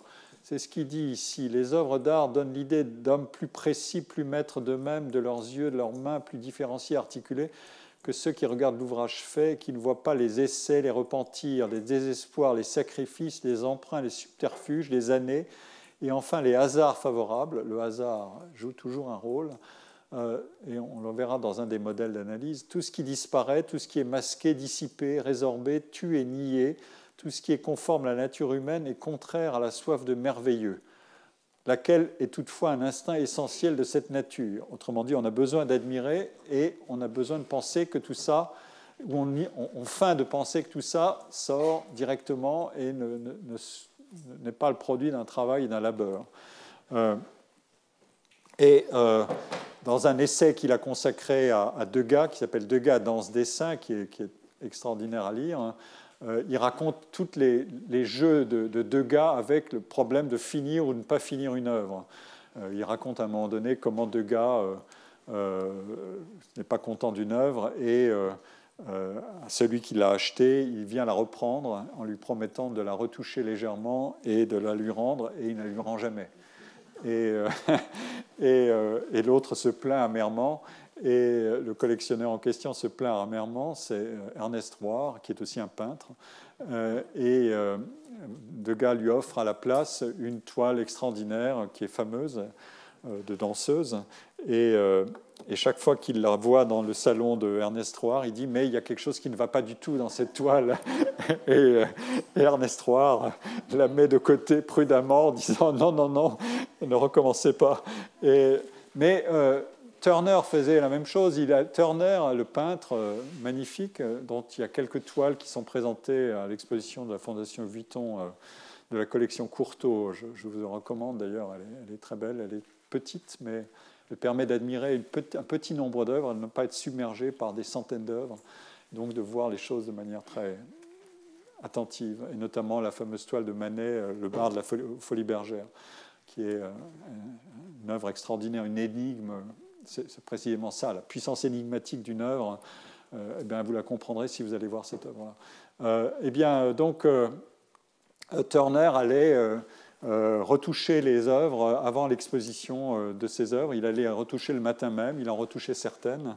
et Turner est aussi celui qui a repris la, une partie de sa production, il l'a, il peinte à nouveau parce qu'il savait que la matière picturale dont elle était peinte se dégradait et allait se détruire. Et donc il s'est dépêché, de, en quelque sorte, de, scanner, si on peut dire, mais avec un pinceau, une partie de sa production. Enfin, le cas Turner est un cas euh, inépuisable de jeu entre l'achèvement et l'inachèvement. Je ne vais pas en parler tout de suite, mais voilà ce que, dit euh, euh, Valérie. Nous, sommes avec Valérie, je, le dis juste d'un mot ici, nous sommes dans la période post-malaméenne, hein, la période où on dit, euh, dans la poésie, mais aussi dans la peinture pour partie, et dans une esthétique, on dit le processus compte autant ou peut-être même plus que le résultat. Euh, et il faut, il faut, le garder en mémoire, et j'y reviendrai plus tard. Et Valérie dit à propos de Degas, Degas toute sa vie cherche dans le nu observé sous toutes ses phases, dans une quantité incroyable de pauses et jusqu'en pleine action, le système unique de lignes qui formule tel, moment d'un corps avec la plus grande précision, mais aussi la plus grande généralité possible. Autrement dit, euh, euh, voilà, singularité et euh, essence généralisable. La grâce ni la poésie apparente ne sont pas ces objets, ces ouvrages ne chantent guère, il faut laisser quelque place au hasard dans le travail pour que certains charmes agissent, exaltent, s'emparent de la palette et de la main. Mais lui, Degas, essentiellement volontaire, jamais satisfait de ce qui vient du premier jet, l'esprit terriblement armé pour la critique et trop nourri par de plus grands maîtres, ne s'abandonne jamais à la volonté naturelle. J'aime cette rigueur. Il est des êtres qui n'ont pas la sensation d'agir, d'avoir accompli quoi que ce soit, s'ils ne l'ont fait contre soi-même. C'est peut-être là le secret des hommes vraiment vertueux. Euh, bon, on peut penser des choses intéressantes sur ce sujet-là, euh, qui fait la vie de pas mal d'entre nous aussi. Euh, et euh, je, vous donne aussi une citation de, Flaubert qui dit dans une lettre à Georges Sand Ainsi, voilà deux jours entiers que je tourne et retourne un paragraphe sans en venir à bout. J'ai envie de pleurer dans ces moments caractériser autrement le souci du travail pour lui-même indique que les artistes expriment de la fierté et un souci constant pour la qualité du travail qu'ils accomplissent et pour les œuvres qu'ils livrent et qui sont le produit de ce travail. Cet élément-là, n'apparaît pas du tout dans le raisonnement économique, euh, alors qu'il joue un rôle considérable dans l'organisation de la production des biens de création prendre soin de l'originalité de son travail, des prouesses techniques de son activité, ou se soucier jusqu'à l'obsession de l'intégration formelle du tout et des parties d'une œuvre, ce qui est quand même un des grands problèmes de la, création, c'est la maîtrise de la forme, c'est-à-dire de l'intégration. C'est une attitude d'autant plus inhabituelle et énigmatique que pour le public qui reçoit ce résultat, la perception et la sophistication du travail et de tout le soin mis n'est pas forcément au rendez-vous. L'écart peut être considérable entre la manière dont un musicien va raffiner l'exécution d'un morceau et ce que l'auditeur du concert en percevra.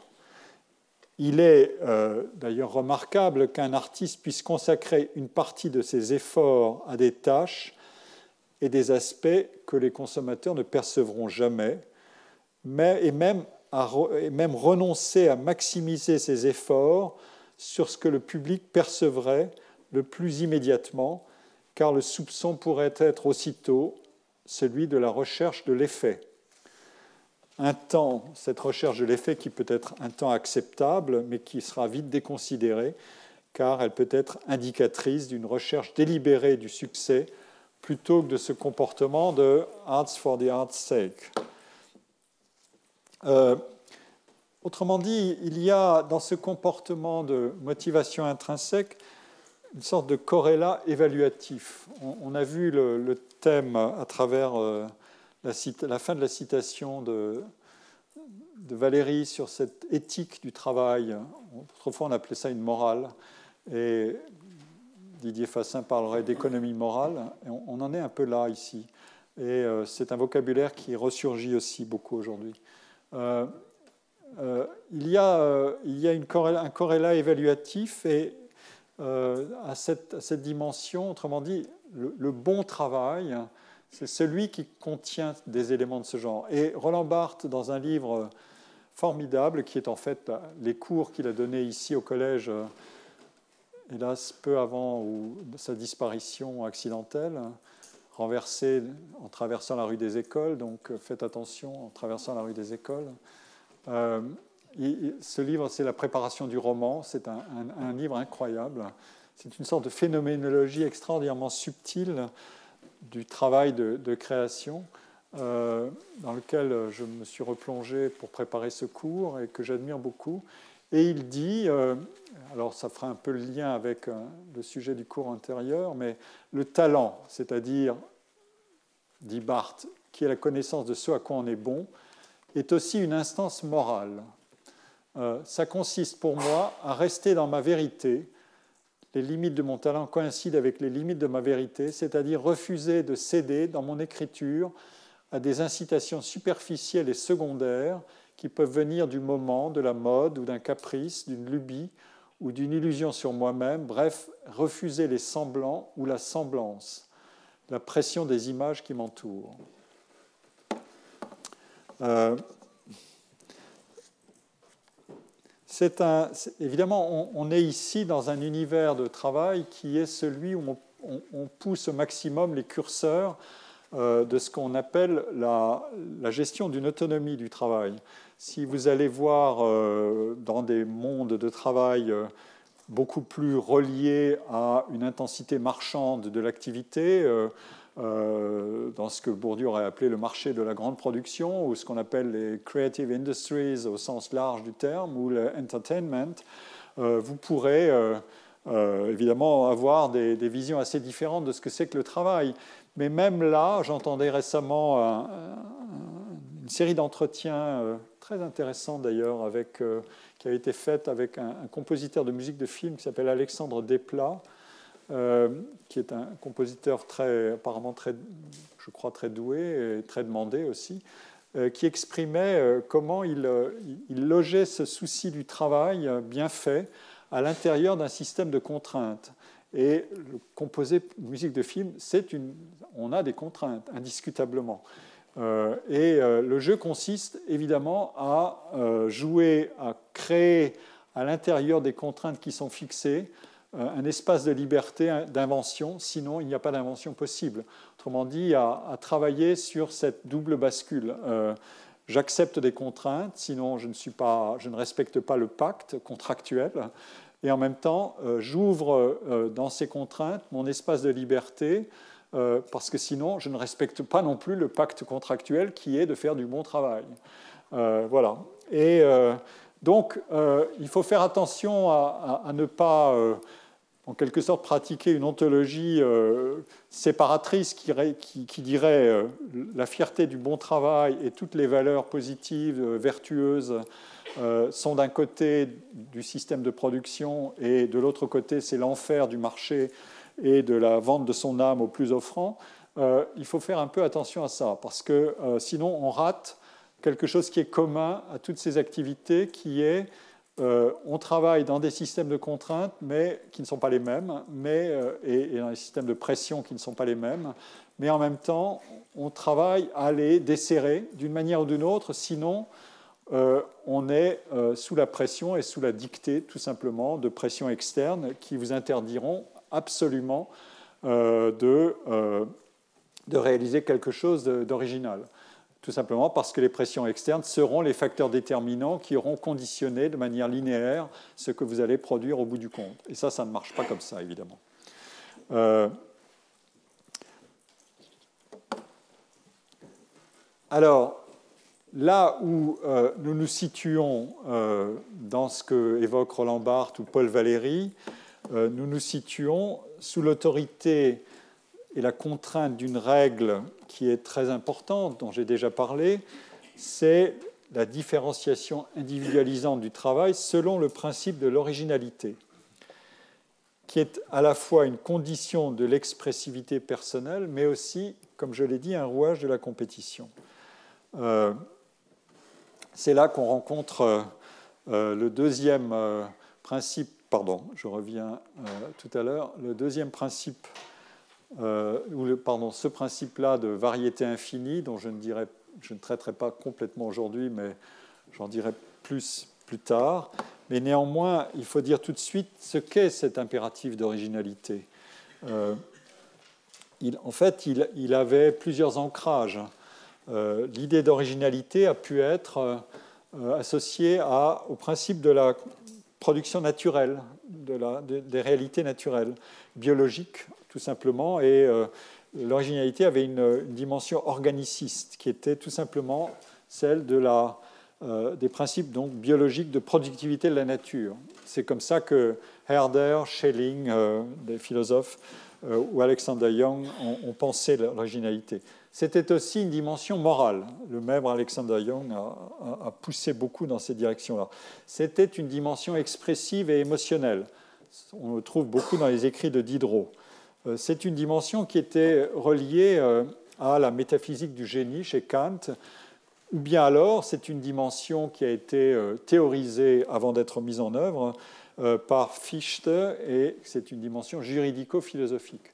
Autrement dit, l'originalité, c'est une propriété, c'est le, le, cercle de ce qui m'appartient et qui est à nul autre pareil, et sur quoi je peux avoir une revendication de propriété en même temps qu'un devoir de responsabilité. Euh, le droit travaille là-dessus euh, surabondamment et j'y reviendrai. Et donc, ce que ça veut dire, c'est que les idées et la matière créatrice peuvent bien être euh, universelles par nature. tout est dit et rien ne se crée, comme on dit souvent.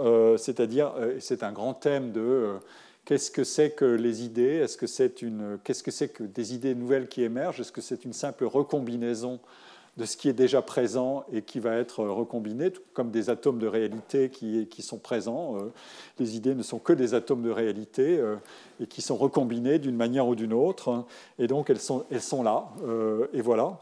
Une des preuves, c'est que si j'invente quelque chose, il y a probablement quelqu'un qui est capable de l'inventer presque au même moment que moi le phénomène des découvertes simultanées qu'a tellement étudié Merton est là pour nous perturber sérieusement. Euh, et il est incessant, c'est-à-dire euh, des idées euh, et nouvelles, elles apparaissent dans plusieurs têtes, beaucoup de têtes simultanément ou presque.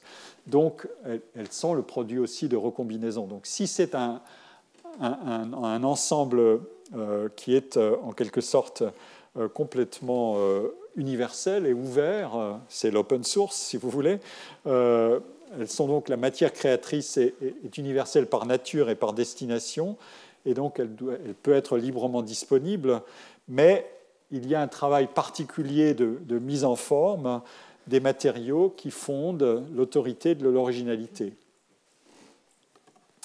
Euh, je crois que j'arrive progressivement au terme de ma première séance de travail. Je vais juste euh, changer et vous montrer encore ceci. Pardon. Euh,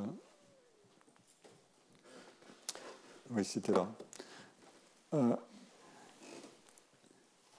mais il n'est pas, pas, facile de comprendre ce qu'est un travail qui est placé sous l'autorité de l'originalité, c'est-à-dire sous l'autorité de l'écart à l'égard d'une tradition de canons d'imitation et de règles apprises, parce que le problème sera évidemment de l'évaluer. si nous n'avons pas des critères d'évaluation stabilisés, comment évaluer l'originalité Puisque l'originalité est toujours en avant de ce qui permet de la qualifier ou de l'évaluer. et donc, un des principes qui sert à combler cet écart entre produire du nouveau et le soumettre à évaluation à des, soit des professionnels d'évaluation, soit des publics qui vont essayer de s'y retrouver, mais qui n'ont pas euh, euh, les, les, critères et les standards d'évaluation disponibles immédiatement, a fortiori quand l'innovation est de rupture. Comment s'y retrouver? Une des manières de combler l'écart, euh, c'est en quelque sorte de garantir la consistance de l'activité créatrice à travers ces valeurs de sincérité, d'authenticité, euh, d'intériorité, euh, qui jouent le rôle de, en, quelque sorte, de, vecteur de crédibilité du travail.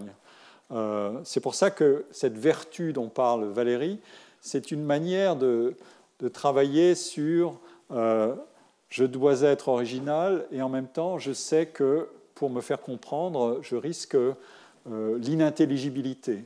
Et donc, euh, là, une des manières de faire, c'est euh, d'assurer que je suis bien au travail de manière sincère, profonde, intense et intrinsèquement motivée.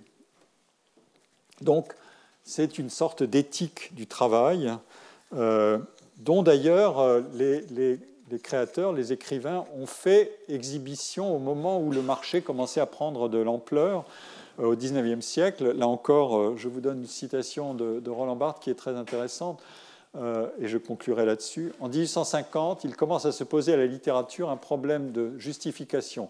L'écriture va se chercher des alibis, et précisément parce qu'une ombre de doute commence à se lever sur son usage, toute une classe d'écrivains soucieux d'assumer à fond la responsabilité de la tradition va, substituer à la valeur d'usage de l'écriture une valeur travail. Alors commence à s'élaborer une image de l'écrivain artisan qui s'enferme dans un lieu légendaire comme un ouvrier en chambre et dégrossit, taille, polie, sertit sa forme, exactement comme un lapidaire dégage l'art de la matière, passant à ce travail des heures régulières de solitude et d'effort. Cette valeur travail remplace un peu la valeur génie. On met en une sorte de coquetterie à dire qu'on travaille beaucoup et très longtemps sa forme. C'est à la fois une, coquetterie, mais c'est aussi un principe de recalibrage de ce que c'est qu'une profession euh, qui doit, euh, en quelque sorte, exhiber des, critères et des preuves de son dedication, c'est-à-dire de son sérieux. Euh, et dans des conditions, comme je les ai rappelées, d'originalité et de, travail sous le contrainte d'originalité, prouver le sérieux de son travail n'est pas une affaire simple. Prouver, comme euh, Duchamp l'a fait, euh, que exposer un urinoir est une affaire sérieuse, ça n'est pas une affaire si simple. Donc, comment fait-on? Donc, il faut modifier l'image même de, la profession et de l'énergie collective qui est détenue par une profession et un, groupe ou un champ professionnel pour donner crédit collectivement à chacun de ses membres de ce qu'est euh, le travail jugé euh, et son éthique euh, avant de, le, avant, de le, juger dans ses particularités et ses singularités. Voilà, j'ai atteint mes deux heures. Je vous remercie de votre écoute patiente et attentive. Et à la semaine prochaine.